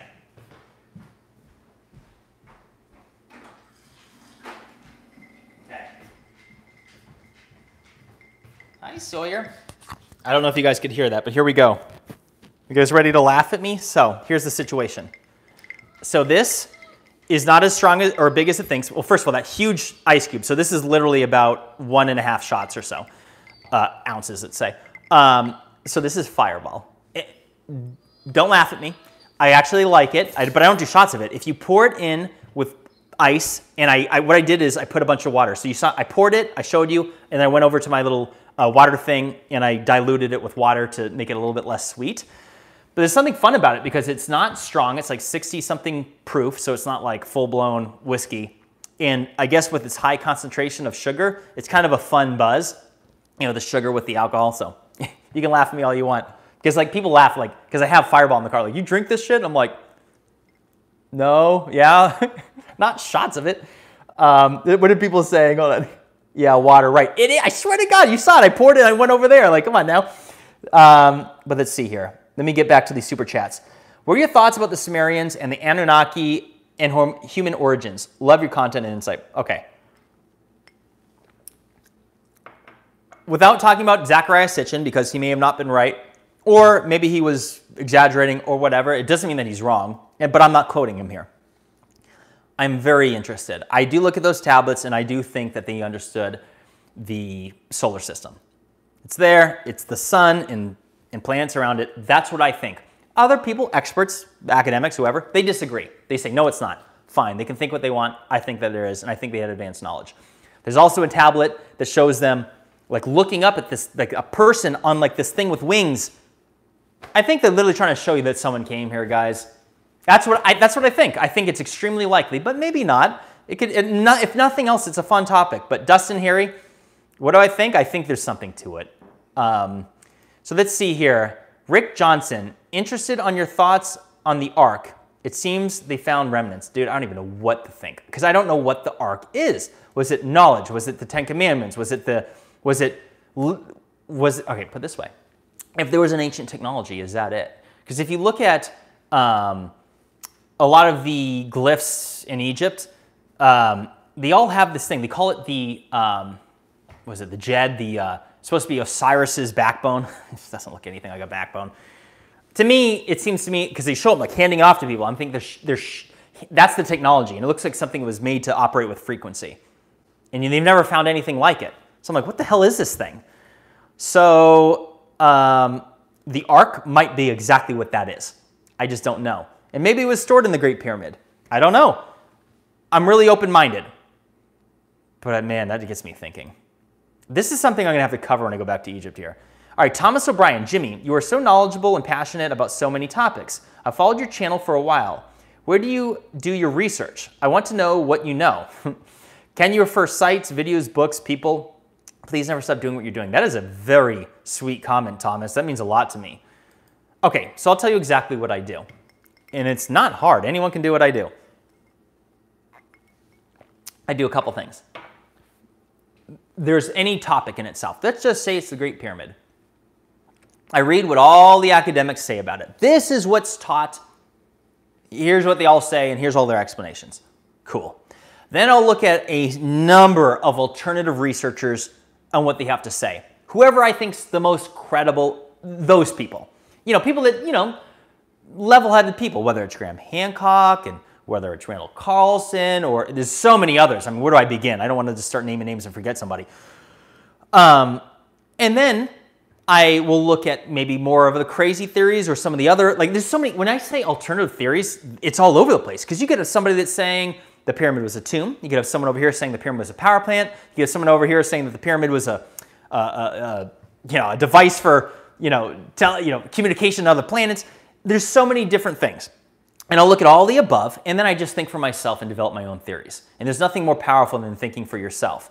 You can't be right about everything, but um, that's essentially what I do. So as far as recommending books, I well, there's been a many, many different things that I've read, but I think that the where I would, because I feel like I got to give credit where it's due and people that inspired me most. So I would recommend everyone buys Graham Hancock's books, um, Magician of the Gods, Fingerprints of the Gods support him. America Before, I haven't actually read that yet, but I bought it. Um, and support him. Like this guy has endured so much backlash, and uh, he's a smart man, and he's sharing things because he, he, he says it himself. He's a journalist. He's a, a synthesizer. People are like, I don't agree with him. It's like most of the stuff he's citing is things that other research has already done, and they come after him. Like he's putting things together and sharing it, and and he's right. He knows that there's more. There's mystery to our ancient past, and that's a fact. So. Um, but yeah, I'll never stop doing what I'm doing. This is just the beginning. I've said it before, but now it's time, like I said earlier in this conversation, this is the time where I need to get my momentum going. I need to come back from Egypt and get underway back on my grind like I haven't in a couple years now and just become obsessed. It's not easy to do though, especially when you have distractions in your life. Um, but they're all good distractions. But um, yeah, that's what I need to do. Because when I'm when I'm super focused on something and obsessed, that's when I do my best stuff. Not easy though. But that's what I need to do. And, and comments like this inspire me, guys. So just all send me your best love and, and your support. And you guys all are supportive. But, you know, sometimes we all need a kick in the butt, right? And that's one thing, you know, come back from Peru and then going back to Egypt, I feel like reinvigorated to uh, get underway with this stuff. Um, how long have I been going now? And then an hour 45 minutes? That's pretty cool. Um, or is it 145 minutes? It's hard to say. Um, Okay, so who else has a question or comment? Andrew, yes, you get burnt out. Yeah, all right, so to be honest, yeah, I did get burnt out. I did, and and that's okay. But now I'm feeling like now it's it's like a cycle. Now I feel like I want to get burnt out again, and I feel like it could take a while before that happens again because I'm so rested, so to speak. Write a book. Yeah, man, that's on my list for sure. Jimmy POTUS 2024. No, they would kill me. They would absolutely execute me if I was POTUS. They would. it would happen quick too. I just wouldn't. I would just talk too much. I'd be doing. Uh, I'd be doing the whole uh, White House or the Oval Office speech. It'd be similar to Eisenhower's. Go look at Eisenhower's last speech before he left the White House. He left the White House before JFK became president. Look what he said about secret societies and the infrastructure of the military industrial complex intelligence agencies. He told you everything you need to hear. JFK came in, and then within 11 months before his murder, uh, look at what he said. Exposing secret societies. Secret societies could be anything. It could be the CIA or whatever else. Like it's, you know, a, a you know, conglomerate of whatever powerful entities that operate with whatever abilities and, and infrastructure and, and influencing society with whatever means, whatever it is that they have. That's a real thing. It's true. Now, it doesn't have to be a big bearing conspiracy. I think it is, but I mean, it doesn't have to be. Let's see here. Colton Broccoli. That's a fun name. Uh, taking a road trip soon and would love to buy you a meal or coffee. Hell yeah. Um, buy me steak and beer. I'm just kidding. Uh, that, would, that would be lovely. Hit me up on Instagram. Um, that's another thing, and I don't want to plug it again because I sound like a douche because I seriously don't like it, social media, but I got to do it. If you're not following me on Instagram, go follow me. It's bright underscore insight. I share them far more than I do on anywhere else, you know, YouTube or otherwise. And, you know, it's a way of keeping up and getting to know me more, and I'll, I'll be sharing things daily, uh, vlogs and pictures from Egypt. I was doing the same thing in Peru and when I went to Egypt last year, so um, but that's an easiest way to get in contact with me. It's just that like every time I make a post, people, I get dozens, sometimes I get a 100 DMs and I can't, it's, it's honestly overwhelming, especially someone like me that doesn't like to be on my phone that much. It's kind of, it sucks because there's a lot of people I haven't responded to, or I never even saw it, by the way. I've had people send me multiple, you know, messages and I end up finally seeing one. I'm thinking like, they sent me a message a year ago and I had no idea. So forgive me if, you know, someone that, if you've messaged me and I never saw it, you know, it's, I guess it's a good problem to have, but I still feel bad because if someone sends me that love, I will. I want to see it. All right, so Jake Bree uh, Berend, or I don't know if I said that right, but Jake. Jimmy, I think the work you do on your channel is more important than you possibly even realize. Thank you for everything you do, man. That's it's surreal to get a comment like that. Uh, see, it's stuff like this. It's very motivating, guys. It makes me want to get off this live chat and freaking hammer out my next video. Man. Um, Pools Jet. While in the US Air Force, I lived in Turkey and Greece for three years each. Crazy history for both. Islamic nations are a major deal trying to have a peak sea. March on, sir. Thank you, sir, and thank you for your service. You know, it's so funny. I never, anytime someone thanks me for my service, here's the best response. I got this from an old friend. It was in the military too. Someone say, oh, thank you for your service. Say, thank you for your tax dollars. College intuition, and I, when I was in Iraq, we had that KBR food, and it was steak and lobster tail every Sunday. um, let's see here. Huff 432. What is this? Atlantis Together. Oh, Atlantis, haven't you hit me up before? I feel like we've never been in, uh, never chatted though. I recognize it because your picture is the, the um, it's of the Richat, the Richat structure. What do you guys think about that, huh? Okay, so what else we got here? I'm looking, trying to see through these comments. I'm filter, I'm scrolling up right now here. Hopefully I don't miss anything great. Um, someone said BD or BMD, Jimmy, what do you think of the whole CE5 thing, remote viewing? Okay, here's the deal. I think, I think most people with that are full of shit. However, I don't know what you mean by CE5. If, if, you're referring to the classified, when they were doing this decades ago and doing experiments on it, they did see that there was some stuff there. So maybe it is, I'm not saying it's not possible. I'm not saying it hasn't been done and can't be done in the future. I think some people are full of it, but to be honest with you, I don't know. Put this way, I haven't done it, but I have had other intuitive moments in my life. I've had, in more than one occasion, I've seen things before they happen. Kind of like, I'm not saying like total Jedi. I'm not saying like I, like, I'm not talking psychic stuff. I'm just saying I've had weird intuitive moments that turn out to be correct just a little bit before. And I'm, I'm not, how do I explain it? Let me give you an example. Um, try to think of something good. Because if I don't give a good example, then it sounds like not good enough at all. Um, and I'm on the spot right now. Hmm, I don't know. For me, what I'm most talented at is kind of sensing what someone's going to do. Like protect, like as far as self-protection. Um, you know, not getting crossed by people. Sometimes I've been good at that, intuitively sensing their underlying motives. Um, Rick Johnson, the Russians beat us to Venus with amazing visuals. Yeah, man, they sent that probe there. It only lasted a few minutes, right? And they got those pictures. Why haven't? That's another thing. Why, like, Venus is unbelievably interesting. It's the closest planet to us, and nobody's talking about it. Everything's Mars, Mars, Mars. What about Venus? What about that? You know? Um, let's see here.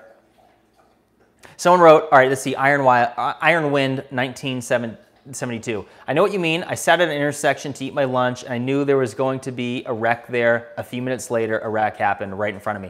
Yeah, man, like weird stuff like that. I, have so I have a, uh, my dog Sawyer's dog aggressive. It's unfortunate. He used to be really cool, but then he got bit and he has PTSD and it's been tough.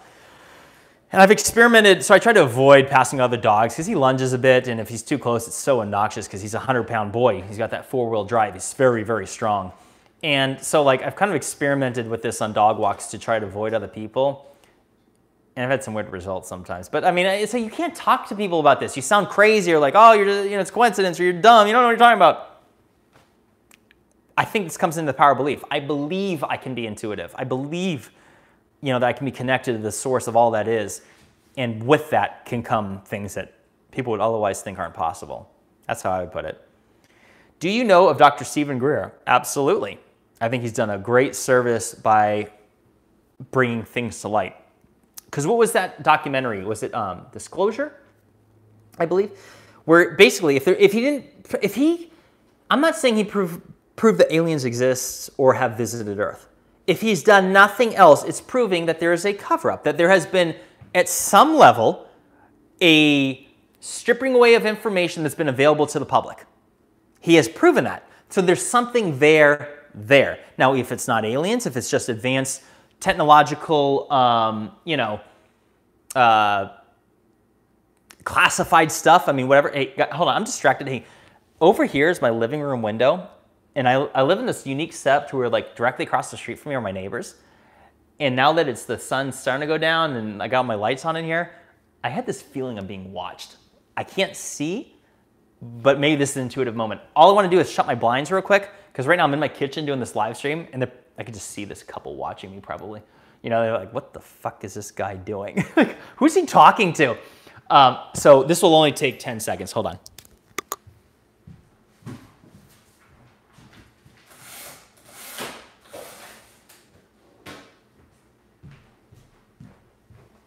So that, that reminds me, guys, listen to this. So speaking of intuitive moments, let me give you another example, and this is so freaking wild to me that it like verifies it. So when I was living in Boise, Idaho, when I was making all these videos, I was I had a desk in the front living room that that overlooked the street, and so I would see everything going on in the neighborhood throughout the day, people walking by with their dogs and whatever. And you know how you, there's a saying that um, you know people can sense that someone's watching them. It's true. Because I, I experience, you guys think I'm so weird. I don't care. It, you got to do the experiment. Jimmy's got to know what's going on. I used to try it. I used to just watch the person. Now, let me just say, the way my yard was laid out, it wasn't obvious. The window was way back. So we're talking like, I don't even know, 50 feet from the street, not close, like some houses. Um, and there's a tree in the way and just the lighting itself, you couldn't see in. So even, I'd have to have all the lights on, which I normally wouldn't actually, especially during the day because they got good lighting in. But like you couldn't see from this is the reflection because I'd you know I'd go outside and see them like so I knew that when I was inside people wouldn't see me. You know I'm talking about just the reflection of the glass itself and just the fact that it faced the uh, the north and like no one the sun isn't shining in, etc. So I used to like sometimes just like stare at the person and I can't believe how many times all of a sudden you see someone, you know, they just be walking on something, you know, like like instinctively look. It's a real thing. And let me tell you another thing, and this is a random, but it's along the same lines. There was that uh, documentary on Netflix I saw a while back about, um, I don't remember the name of it, but it maybe was The Unabomber, about uh, Ted Kaczynski, the Unabomber. And there was something that happened that confirms this, in my opinion, which is that he was, when he was living in that cabin out there in the middle of nowhere in Montana, he had his near neighbors, whoever it was, and there's this woman and her daughter out walking or doing whatever they were doing one day and he was out there with his gun and he was essentially laying down in the forest and he basically just, he was pissed at these people for some reason. I think it's because they were cutting trees down and he was really against it. And regardless, he pointed it and they had no idea. But he basically, and the reason why they know this is because they, when they found his diaries and everything and he decoded it, he wrote in detail about it on the day. He's like, I, you know, I pointed, I had my sight, my rifle sight right on there. And what, these poor people, this daughter and this mom, didn't know till many years later. They had this moment when they were out there, that same exact moment. They got this terrible feeling they were being watched and went and left and went the other direction, which was confirmed in his writings. What the what are the odds of that? You have this feeling you're being watched and you're right. And that and I'm convinced that the conviction and the energy he's putting behind it and that he's pointing a gun at some people. Some in a woman and a daughter, what's going what are you doing? Um, and so the energy he had behind it was extremely powerful, especially being someone of such high IQ like him. He was a, he was a genius, let's be real. Um, and he used it for doing some terrible things. Um, but yeah, like that was, guys, that happened. Go, go look into that. That's a real thing. And, and to me, I already saw in my own eyes, I'm like, I feel like if you stare at somebody, sometimes they just know. And, and it's just like what happened with these blinds. I'm like, am I being watched? I don't know. It's fun stuff. I haven't looked at any of these super chats in a bit, Kira. We got that, we got that. Does anyone else have any questions or comments? I mean, I'm having a fun time, but I can't tell how much battery life I have on my phone because the way that the layout is, it doesn't, it's just not showing up, so I have no idea. Let me, hold on, give me a half a second here. Let me see if that works. Nope, that didn't work at all. Dang. Okay, so I have no idea. So if this randomly dies, and I don't think it will because I had a full charge when I started and it's an iPhone 12 and it could probably, it probably go a number of hours, I imagine. I'm not sure. But I'm having fun. I'm in no rush. Um, oh my God, this hide comment. Did you get any Egyptian poon? No, I did not. you guys, some of these comments are so funny. Uh, Egyptians are incredibly reserved, by the way, um, and, and religious and conservative. Um, it's not like American culture going, you know, but um, um, let's see here. Who else has a question? I'm, I'm trying to scroll through and see. There's so many here. I mean, they just keep going, so I don't want to miss something great. Um, and I also have a super chat question of some kind, but all right, let's see. I'm just looking for any question. I want you guys to feel you have to pay money to ask me a question. I'll, ask, I'll answer anything. Bosnian, Bosnian pyramids. I see that from Freaky. Nah, I don't think so, man. I looked into this. So hold on, hold on. I'm not saying it's not something ancient and that there's not something there. All I'm saying is that I don't necessarily think it's a pyramid. And let me just say, I have not been there, but other people that have been there and evaluated the site, like, like say, for example, Graham Hancock, didn't believe that that's what it was. And I, I value that opinion, but I don't know.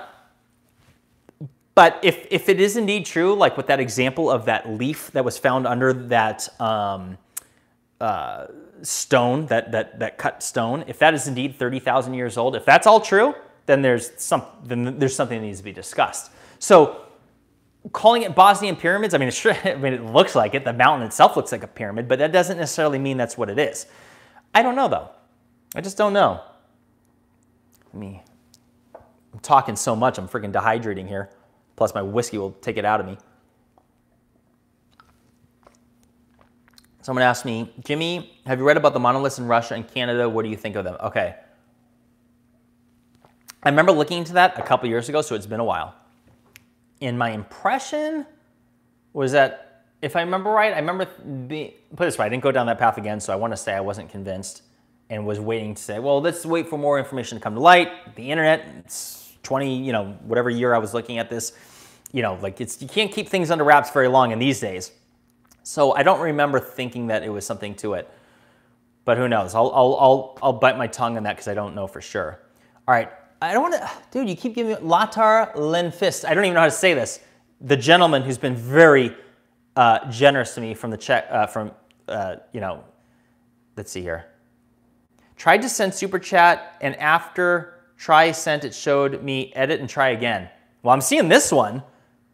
Um, what do you want to ask me, man?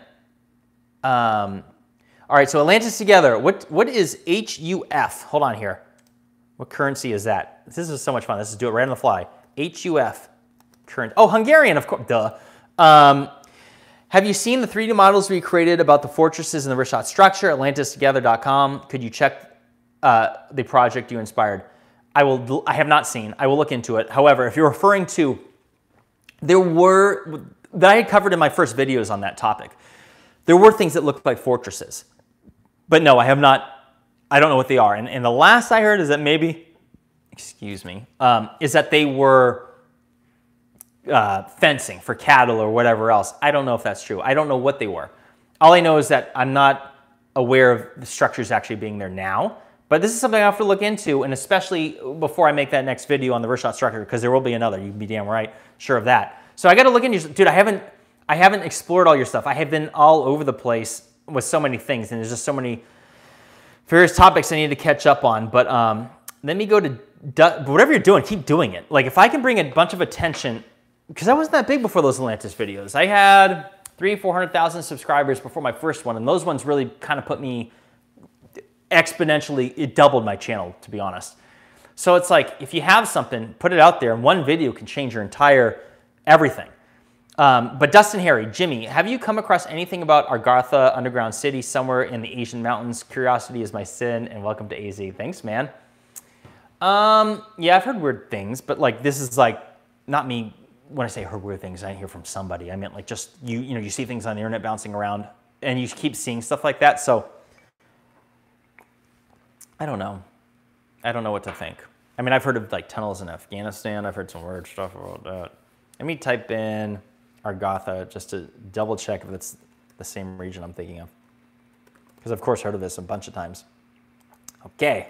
It's the legendary kingdom that is said to be located in the Earth's core, of course. But where's the entrance to it? Um, I would say under the ocean if that existed. Because it, it brings me back to as above, so below, you know? Maybe there's something going on inside the earth. I mean, like it's so big and it doesn't have to be a civilization, but like I wouldn't be surprised if there's some sort of species of whatever it could be living under there, whether it's insects or whatever else. Someone, he, Keck, he's drinking Fireball. Yes, I'm drinking Fireball with water and ice. I like it. I should have lied and be like, oh, this is fine scotch. Yeah, this is a, this is a, this is Lagavulin 16, you know. Hmm? Okay, guys, what do you guys want to ask me? I uh, Pretty soon I'll have to walk Sawyer. Well, he's being good. He's actually laying... Hold on. Let me just show you what he's doing. So I'm in no rush. While he's doing that... Hi, Sawyer. Oh, I don't want to wake him. Once he starts pestering me, then it'll be time for sure. Um, all right, let's see. Antarctica. Oh, mm, that's, that's, that's the next frontier, isn't it? All right, someone asked me something. Come on now, keep me going here. I mean, these, hold on. I don't want to miss anything. Have you had any unexplained phenomena happen to you while you were deployed? Not at all. Not while deployed. Not at all. Um, no. The one thing that comes to mind about phenomena, and no one, I've told this story before to some people I know, and so they always just brush it off. But the one thing I had with some phenomena involved a dream that I had. I was living in Boise. I was in an apart. This is when I first got there. I was in an apartment complex. This before I went into a house, and I was sleeping facing the other direction away from the window. And I had a dream that there was someone peeing outside my window of the bedroom, and I woke up facing the other direction, so not facing the window and I basically just like, the dream was so powerful. I'm like, is there someone outside my window right now? What the hell's going on? You know, you have a dream, you're like not sure if it's real or not. And I go and look outside my window, and there's a dude walking up. Like there's three people, but one was close to the window. The other people just they're just walking through. This is not even a path though. It's not near the sidewalk. So they were walking through an area where people shouldn't be, but like it was grass and some trees, and it was like along the fencing of the perimeter of the apartment. And he came up next to the window and then started pissing that was one thing that like came to mind when I was thinking about like, you know, intuitive moments before they happen. Because I'm like, what are the odds of that? And then I've, I've told this story and like, well, maybe you heard them talking and you knew he was gonna pee, so it was kind of your dream. You thought your dream. I'm like, the freaking AC unit was on, which is right next to where he pissed. It's loud as hell. You know, it's like, you know, AC unit compressor. I didn't hear anything. I couldn't. I didn't hear him even when he was doing it. That's now. Hold on. Let me just say that's the only time I've ever had some sort of crazy dream like that, but I don't know. What the hell? You know, I, I, I guarantee I watch the comments right now. I'm like, oh, you don't know what you're talking about? Um, but anyways, it's fun to share because like it makes me wonder. I'm like, it hasn't happened since. I don't, I'm not, I don't know. I don't even know what to think about it. I just want, I want to wait for it to happen again. Do you think there was a civilization in the in Antarctica? Well, I'm very open to it. I'm waiting to see. I think it's incredibly possible, especially when we talk about pole shifts and other things and Adam and Eve story. It is so possible. And I find it very interesting. There's so much stuff going on down there with all these countries from around the world. It's very possible that there's just a lot of precious resources there that they are expecting to find under the ice, whether it's oil or precious metals and minerals. And maybe that's all why the reason why the, you know, the powers that be around the world, or countries, I should say, want to be there and are there but whether there are civilizations, I'm, I want to believe it. But it's like, you know, how long ago has some of that ice been there? I think some of that ice is more recent than some. All right, because here's the thing. What about the Piri-Reis map? Doesn't the Piri-Reis map show some parts of Antarctica that are now under ice but weren't then, but they know it's there just because of our technological abilities today to understand that that's what the land looks like underneath the ice? If that's all the case, then, well, what the hell? Like, People live all over the place. They just, this is what humans do. They travel around and they live. All right, hold on, let me read some of these super chats. Magus Galzu, have you looked into the Mali Empire taking all the gold from Atlantis? No, but I know that Atlantis says to have gold and Mali and those other parts of Africa have gold. So let me dig into that a little bit. And um, I mean, Mauritania has gold. It's one of its uh, uh, highest exports, or among them, I should say. Um, yeah, there's something to be said for that, I think. Skywatchers, Sun, and well, it cuts off after that, but thank you so much for the super sticker. And we got Harry White here. Why didn't you take ayahuasca with Ben in Peru? And you should look into CE5. All right, so let me make a note about CE5. Um, and to be honest with you, so here's the thing about the ayahuasca situation. Um, that is so high on my list to do. But I was on a tour and I would have had to stay in country longer. And I gotta be honest with you, that is like doing an ayahuasca journey, like a four night thing, is so high on my list and it has been for years. But it just, this particular time down in Peru, which is such a shame because while you're there, it's like one in Rome, you got to do these things. But I think the best thing would be for me to, to do that in a trip like that solely for that reason. Not like, oh, hey, I'm traveling. Because you got to keep in mind, when it comes to luggage and other things, I'm bringing all this camera stuff. I'm, I'm traveling and bringing attire for traveling and, and for going to sites and all this stuff. And I think an ayahuasca journey needs to be like me and one other person, and it's like literally a soul. I got to go there expecting to have a lot of downtime to just spend all day thinking about my experience from the night before, anticipating doing the next night's ayahuasca ceremony. Because that's what I want to do. I want to do four nights in a row minimum. That's what I would like to do. because that's what a lot of people have recommended to have a profound experience. So it's kind of a shame going down there and not doing it, but I, I believe I just need to do it. Um, oh, Linfest, you're going, if I sell this right, Latar, it don't let me send questions feed censored. What? But it's letting you send this, another 249 check. But it's good night. It is a good night, and I'm, you've been extremely generous. Hit me up on Instagram or send me an email. You are wonderful. Rob Weisenhunt, drink what you want. It's okay to like things. I'd love to buy you a few and chat someday. Have fun and be safe in Egypt. Thank you, brother. All right, so anyone that's on this uh, live stream that wasn't here in the beginning, let me just say a couple things that I said earlier on that you may have not heard. One of which is that I fly out, I fly out to Egypt next Wednesday, and on Friday, October 1st, a week from today, I will be doing a live stream from the Giza Plateau. I have the appropriate equipment. I believe that it'll be able to be done. The connection involving 3G that they had out there, it might be 4G now or 5G, because uh, I imagine they'd skip over 4G at this point. When I was there last year, it was all 3G, but the service was excellent on the plateau. I mean, I had instant texts. It was, there was no delay. I want to believe the connection will be good. Assuming all goes well, I mean, worst case scenario, I just film on my other cameras and I upload later. But the plan is to do a complete Giza Plateau tour, and I'm talking around the Sphinx, all the pyramids, and showing you all the other sites. And I especially want to go around all those damn locked doors and gates they have all over the plateau and film it like live. Like, look at this. Um, see, this is what I'm talking about. See this lock gate. Um, and I also want to show you just the various huge structures and massive stone cut blocks that you've never seen or heard about, or at least that most people haven't. Because we've all seen and heard about the Sphinx and the pyramids, but most people have no idea all the other incredible structures that are right there. And it's not to, like, guys, I had been studying Egypt for a couple years, few years, five years before I even got there. And I'm like, or even as a kid, because that's how I fell in love was in the sixth grade when I learned about it. And I'm like getting out there in the first five, ten minutes, I'm like, whoa, this isn't how I thought this was laid out. This is interesting. Learning things like that, like that, like that. And because so many of you, um, you know, many people in the world won't have the opportunity to travel to Egypt, or it could be a long time before you do, I want you to live vicariously through me and my camera. Since I'm blessed enough to be able to get out there, it, the best thing I could do is at least show you through my own eyes. And if I could do a complete tour of the Giza Plateau, which will take hours, it would be, I think, it, epic. Next level epic.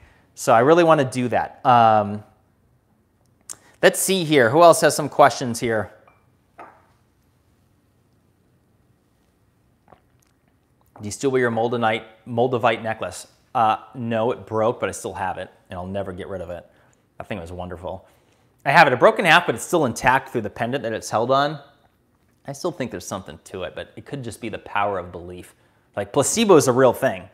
Um, okay, all right, here we go. I just got the, the battery, low battery comment. Hold on. I'm at 20%. I got a little bit longer. All right, so let me go for another, if I'm at 20%, let's just say let me go for another, I'm, I'm having fun. I'm in no rush. I kind of got to pee, but my uh, dog Sawyer is doing okay, and it's really dependent on him. I fed him before the live stream, and um, I just want to take him on a walk. That's my plan for this evening. Anyway, so let's say another 20 minutes, 30 max, but that seems like a little bit of a while. So maybe I'll wrap this up in 10, 15 minutes. It depends. If you guys want to keep me around, send me some super chat questions. Um, but anyways, going back to the Moldavite, the power of belief and placebo is a real thing. And placebo is power of belief.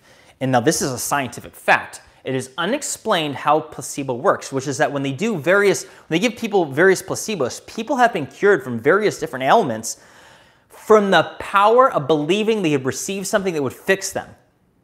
How do you explain that? And this has happened time and time again, and it's happened with multiple different ailments and diseases. It is unexplainable, it is unknown to science.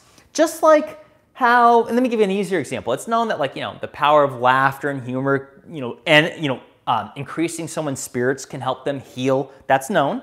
Um, positivity is a good thing. So I think that this all ties into what I was talking earlier with law of attraction and other things, um, which is that belief. I think this is what the Bible meant. I used to think it, it meant, you know, pass around the collection plate and put money in it, like I said earlier. I think now it might have to do with the power of the human mind, and the power of belief is how all these magnificent people throughout history believed they could do something you know? So let's see here. What else we got? Someone wrote, oh, thank you, Ray, for the super chat. If anyone has any other, I'm looking. Okay, here we go. Ray Portella. I'm a young adult and just coming out of high school. I want to pursue archaeology, but I don't know the best route.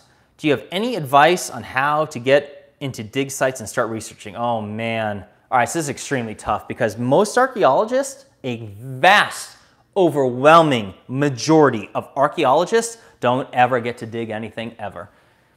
It's super sad too, because like they should be allowed to. That's what I want them to do. I'm on their side. I don't care what they believe. If they believe there's no ancient any, you know, technology, don't matter to me. Just go dig and show me what you find. That's all I want. Just show me what you find and do it. It's like I was talking earlier in this live stream about Gobekli Tepe. What's going on there? You know, they rediscovered the site 20 plus years ago or longer. Uh, what, what year are we in now? 25 plus years ago? and we're still, we have barely made any headway. Like, what the hell is going on? Like, unreal. So, okay, so to answer your question, if you have a total desire to go there and dig, then you can make it happen. If some archaeologists can get into dig sites, then you can too. You got to figure out what it takes to make that happen, right? So, um, I don't know, man. I saw some recent article that was floating around about how uh, some universities are going to cut back on archaeology degrees. Like they're eliminating it. This is like uh, two days ago. It's extremely concerning. Let me give you an, let me just give you another idea. Here I am on YouTube. I'm helping bringing mysteries of ancient civilization to light. Whether I'm right or wrong on things, it doesn't even matter. I developed a following and found a, a, a means of living and, and, and bringing information to others. And I did it all by myself. So it's all about creativity. But you know, when it comes to digging things up, you know, there's government regul. I mean, you you can't just go out and dig. You'll, you know, spend the rest of your life in prison or some crap. You know. Ah, if I were you, I would. Uh, here's what I would recommend doing: find out what archaeologists have been to the notable sites, whether it's Gobekli Tepe. Um, I won't include Egypt because that's all so government run. You ain't no, ain't nobody going in there to dig unless they are affiliated and, and have the permissions and other things. Um, but I would, I would research any more recent archaeological digs that have happened in, say, the last 10 years. Find out who's physically done that. Find out their email addresses because they're probably academics or whoever. And just ask like, hey, I want to be an archaeologist, but I want to do it with the, the prospect of digging someday and find out how to make that happen or what their best advice is and go from there. Uh, that's my best advice. Find out who else has already done it recently not 20 years ago. The world is changing very quickly. And like Andrew just said from ancient uh, um, uh, historical criticisms, uh, ancient history criticisms, go sub subscribe to them. You know, there's truth there. And I, I'm starting to think, guys, that maybe everything's going to be government run now. But then maybe that means you need to become a government archaeologist of some kind, someone that gets that federal funding. Maybe that's what you need to do. Where there is a will, there is a way. Now, hold on, I'm seeing other super chats here. We got Oh, we got Kira again. Oh my God, you're so generous. Jimmy, isn't it uh, just one thing? Anyways, do you know Nikola Tesla and Swami uh, uh, I always mess up this name, were friends. I did not, I don't know if I knew that actually. You should listen to read what uh, in Raja Yoga, what they all said. Do you think you would find value based on the subjects you have spoken about tonight? Yeah, I don't think it's an accident. Hang on, because I'm gonna make a note. Make another one. I made one earlier for the other comment. That way, I definitely go down this rabbit hole. Swami, Tesla. Thanks, sweetheart. Extremely generous too, by the way.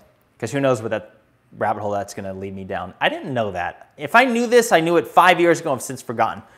I don't feel like I knew this at all. Now, when I go and read on it and, and, and do some Googling and seeing the connections there, if I see anything that rings a bell, then I'll be like, oh, okay, I did hear this. Thank you so much. Um, Dustin Harry, I've been diving into Christianity and the origin of the religion. Gnosticism is very intriguing with its pursuit of knowledge. Have you studied, do you study religion? Well, actually, to be honest with you, I have a minor in religious studies, which was so awesome. I've always been curious about world religions. And then when I was getting my undergrad, I wanted to get some GPA boosters. So I'm like, all right, let me, let me establish a minor and I'll, I'll do electives essentially. And, or, or, or orient basically take the take up the minor as an elective way of boosting my GPA and I was like, I need to choose the most interesting things possible because I'll do better in the subject if I'm actually interested. And it turned, it worked out so well in, in a couple ways. One is because the, at least, all right, so I was going to ASU, Arizona State University, and at that time, I don't know if it's still the same, but it was super easy for some of these courses to get A pluses, which is a big deal for boosting a GPA. And uh, just the way the courses were laid out. I, I, don't know if I should brag about that. I don't really care. I'll just tell you, hey, if you guys need a GPA booster, there, just go to ratemyprofessor.com and you can look up. There's, some, there's certain teachers that do discussion board posts exclusively, which basically means that they'll assign you a chapter in a book, or a textbook, and then you're required to write out three paragraphs, you know, explaining each one of these three little topics within the, the, that particular chapter or something. It's so easy. If you do it, you get credit. A plus. But in the process, I learned a ton of stuff on a topic I was already interested in. So I learned about all kinds of religions across the world. And uh, sorry, I, that was my, uh, that was my, I'm using a uh, lavalier mic here. And it knocked, when I swiped with my aggressive hand motion, I totally knocked my phone off. I think I did that when I did my post-Egypt uh, live stream last December. that woke Sawyer up. It scared him. Hi, Sawyer. Hi, buddy. He's getting ready. All right, guys, just a few more minutes because I should head out with Sawyer, but we still got 900 plus people. So who else has another? Yeah, someone wrote, take another swig. Sure. drunk ass just throwing his freaking damn thing on there. I'm not, I'm only slightly buzzed, guys. I'm not drunk. I'm below the legal limit. I can say that for sure. I'm going driving right after this. That's a joke. Um, but it's so funny. Anytime I drink on these live streams, you know, people like, I see the comments like, drunkard, you know, what are you doing? Like, I didn't pregame it before this one. Um, all right, so let's see here. Let Jimmy White Fork Wasted laugh my ass off. God, I love these comments. This is one of the funnest things. Um, so that's your fifth glass, man. It really isn't. It's my second. Um, you guys are wonderful. Let's see, the juice. Should I end the live stream on my hammered? Um, somebody asked me a question here because I'm having fun. Do some drop shots. Oh my God, here we go. Don't hit Jimmy. Oh, this is so funny. Thanks for your, thank, uh, Hang Buick. Thank you so much. Thanks for your channel. Can't get enough of what you discuss. I really appreciate that. Jimmy, the moon, is the moon hollow? Okay, probably. There's, there is certain scientific evidence that strongly suggests it. Now, whether it's hollow because of intelligent design or something natural we don't understand, I bet on it. And, and here's how we know, or would suggest it. The, for example, the Apollo moon missions, on all the missions, they brought over seismic seismographs. And so on the five, how many times? Did we go there five times? Um, and yeah, because there's supposed to be six and the Apollo 13 fell apart.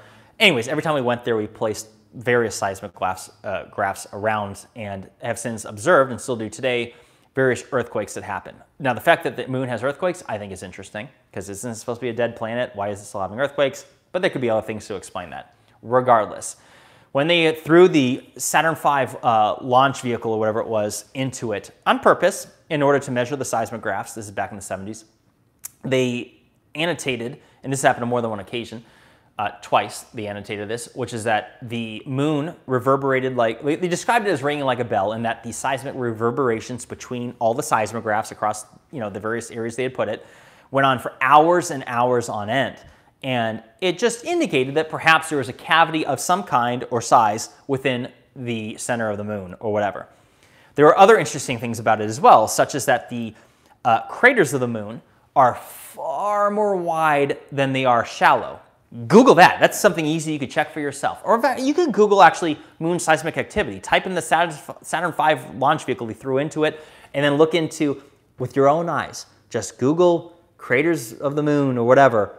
Um, well, don't do craters of the moon. I'll bring up a, a natural uh, park in Idaho. That's what it's called.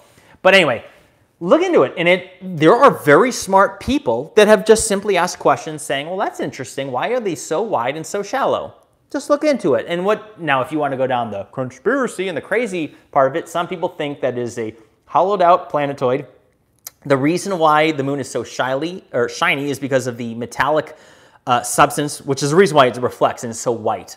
Um, and people say that it's metal shavings from whatever side the, you know, maybe the iron or whatever the core was being metallic, and that it was purposely hollowed out and that it was a space vehicle. and it was brought here and meant to be the because you got to keep in mind there's certain other things about it. The, the, the mass of itself is completely unnatural for the size of it, in that it's um, one fifth the size of planet Earth, but it's like something like one. I'm gonna get the number wrong, but I want to say 180th the, the, the, mass that it should be, or whatever it was. Um, so it's unbelievably light for what it should be based on our current knowledge. Now, maybe that's a completely natural explanation that we don't yet understand, or could it be evidence of a long lost intelligent design that goes back who knows how long? I wonder that. And I, pro- I kind of think, because I, I think there's something about the moon. There's this huge rush to go mine there, but yet it's all in the DL. It's really weird. Um, hold on, we got a super chat here I don't want to miss. Rico Hirano Tuscino. I, I said that wrong. Suskino. Uh, forgive me. Rico, we'll say. Thanks uh, bringing up Neville Goddard. I think he is legitimate, but I haven't quite figured it out. Sounds like you did. Listen to his lectures. Go on YouTube and type, type in Neville Goddard um, imagination or divine imagination, things like that. Um, and just Neville Goddard lectures. And just the, there's numerous ones, but maybe look into ones based on view count, kind of get an idea what he's about. I think he nailed it. That's what I think because he's saying things that I already thought on my own from my own time in isolation of living alone and just dabbling in the little spiritual realm and doing my own studies of what the ancients said and dabbling into law of attraction and all this other stuff. And to me, I'm like, how have I never heard of this guy? And he's saying things to me that make a lot of sense. And I think that his argument that the Bible has been vastly misinterpreted, I suspect he's onto something. I really do. I could be wrong, but if nothing else, check him out and think for yourselves, guys. Okay, Rob Weisenhunt, welcome back. P.S. Please share anything you find about the resonant and acoustic acoustical properties of the pyramids and other structures. Thank you. Thank you. Um, yeah, it's wild, man. I've never heard anything like it. Even being inside the uh, the so-called King's Chamber of the Great Pyramid, I've never heard anything like it. A whisper, like goes back and forth. It's like nothing else. Now, of course, it's granite and stone is going to bounce sound back and forth. It's like nothing else. But the question is, was this stuff used for healing? And I'm not necessarily saying the pyramid, but there's been other sites too, all over, whether it's Peru and other sites around Egypt. They all have acoustic properties to them, which are interesting. It's like, was this on purpose?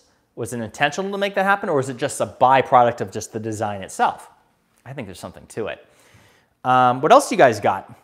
Because I'll have to wrap this up a little bit. Once it, my phone says 10%, I'll probably bail. And plus, I do got to use the bathroom, but I don't want to. I don't want to take the, the break to do it. I'd rather just keep going. And right now we're at, I'm at 187 minutes. Wait, am I at three hours? Oh my God, I am. It's 6.41 p.m. and I started this like at 6, or excuse me, 3.35 or so p.m. I can't believe I just did three hours. I've had so much fun. Man, maybe I should talk for a living more often. Do you guys think I should do live? All right, here's a fun thing. I'll wrap this up. Unless there's any other super chats. Super chats will keep me here. I'm not going to deny that. Um, so, do you guys think I should do some live speaking engagements of some kind? Maybe tour around? I mean, I could start small. I don't know. Whether it's, I mean, there's different venues that I could do. I could set it up myself or whatever. Would do you guys think there's? I mean, I like to speak in person. Let me say that. I think it's incredibly thrilling. Uh, when I was in the military and in the corporate world, I was a train the trainer in both settings. So I did, I did, you know, in-person speaking, and, and I also got an undergrad in communications. And so, of course, I had to do public speaking coursework for that. So we had to give presentations. And as well as when I went back to school, it was required. Every single course required in the program for the MBA uh, to do presentations in front of the class. And I love it. It is something really exciting about it. Um, I I just like speaking in person, and I guess I'm answering my own question. I should totally do this, huh? I think it'd be fun, and I think I'm better at speaking in person than I am on camera. I've had to improve my camera work because it's kind of awkward. I mean, I like talking in front of the camera, but it is awkward. I feel like I can feed off an audience way better than this. Um, there's something very inclusive about it. So, um, thanks, Diddy. I love you too. Have a thank you. Diddy, you're amazing. Uh, who else we got here? But anyways, all right, so you guys are saying yes. All right, I should totally do it. Yeah, do Vegas? yeah, should do. Live from the MGM Grand. Or, or maybe, no, Circus Circus. Then maybe they'll allow me to come in there and talk. All right, guys, let's see here. Anything else? Um, Kira, your, your super chat's still up here at the top. Those $50 ones hang in there for a long time. It's laid out by minutes. I should probably figure out how this works. Like a dollar lasts for a certain period of time, five dollars lasts for a certain period of time. They're all spaced, and the more you leave, the longer it stays up there.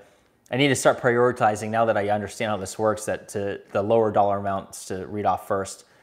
Um, yeah, sorry, Anthony, circus circus, laughing my ass off. I know, right? I go there, or maybe the stratosphere, since my ideas are so through the atmosphere, so through the roof. All right, well, since I'm well over three hours, I can't believe it. That's how I know I should probably be doing something like this live, and that if it feels fun to go um, chat for hours on end and for it to feel so quick, maybe that's something that uh, I should really dive into. So. Any other thoughts, guys? Um, someone keeps asking me David Wilcock. I don't know. I don't want to say anything. I don't know. I, I haven't met him. I don't know him. I've, I, I remember reading one of his books on audio a long time ago when I was first dabbling into the spiritual realm. Um, this is like they say 2015 or 16. Um, so I don't know. I'd have to. I'd have to get to. I don't know. Um, oh, what the hell is this webcams? Hot girls and boys. Hold on. Hide user from channel. Blocked remove, I should report this, remove perverts. Glad I saw that.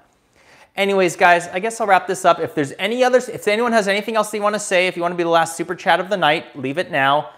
Um, otherwise, I'm, I'm, super grateful. You guys are wonderful. So just for everybody that's uh, hasn't heard earlier, a week from today, Friday, I'm doing a live stream from the Giza Plateau. It's going to be epic, assuming everything goes well with the connection. I believe that it will. I'm set up for it, and uh, I'm gonna give you guys a tour of the plateau like you've never seen before. I'm gonna walk around as best as I can, and um, oh, hold on, you did it again. What is your name? Is it Ladder, or is that just a acronym? Ladder Linsfist? You are a true gentleman. Very, very sweet of you. All right, guys, if there's any others, um, but I guess I'll wrap this up here. Yep, oh, it's, eh, Hold on. I know that it's time because my phone just said 10%. I said I'd wrap it up now. I'm at 191 minutes, so well over three hours. So you guys are great. Say bye. Don't keep me here any longer. Gonna go walk Sawyer, even though he's walking. Oh, hold on. I perceive myself as gunky. You're really cool. You're really cool. That's very nice of you. Um, all right, guys. I'm wrapping this up. Thank you so much for all your support. You guys are very generous, and I'm very grateful. And I'm gonna I'm to end this now. Let's see here. All right. Bye, everybody.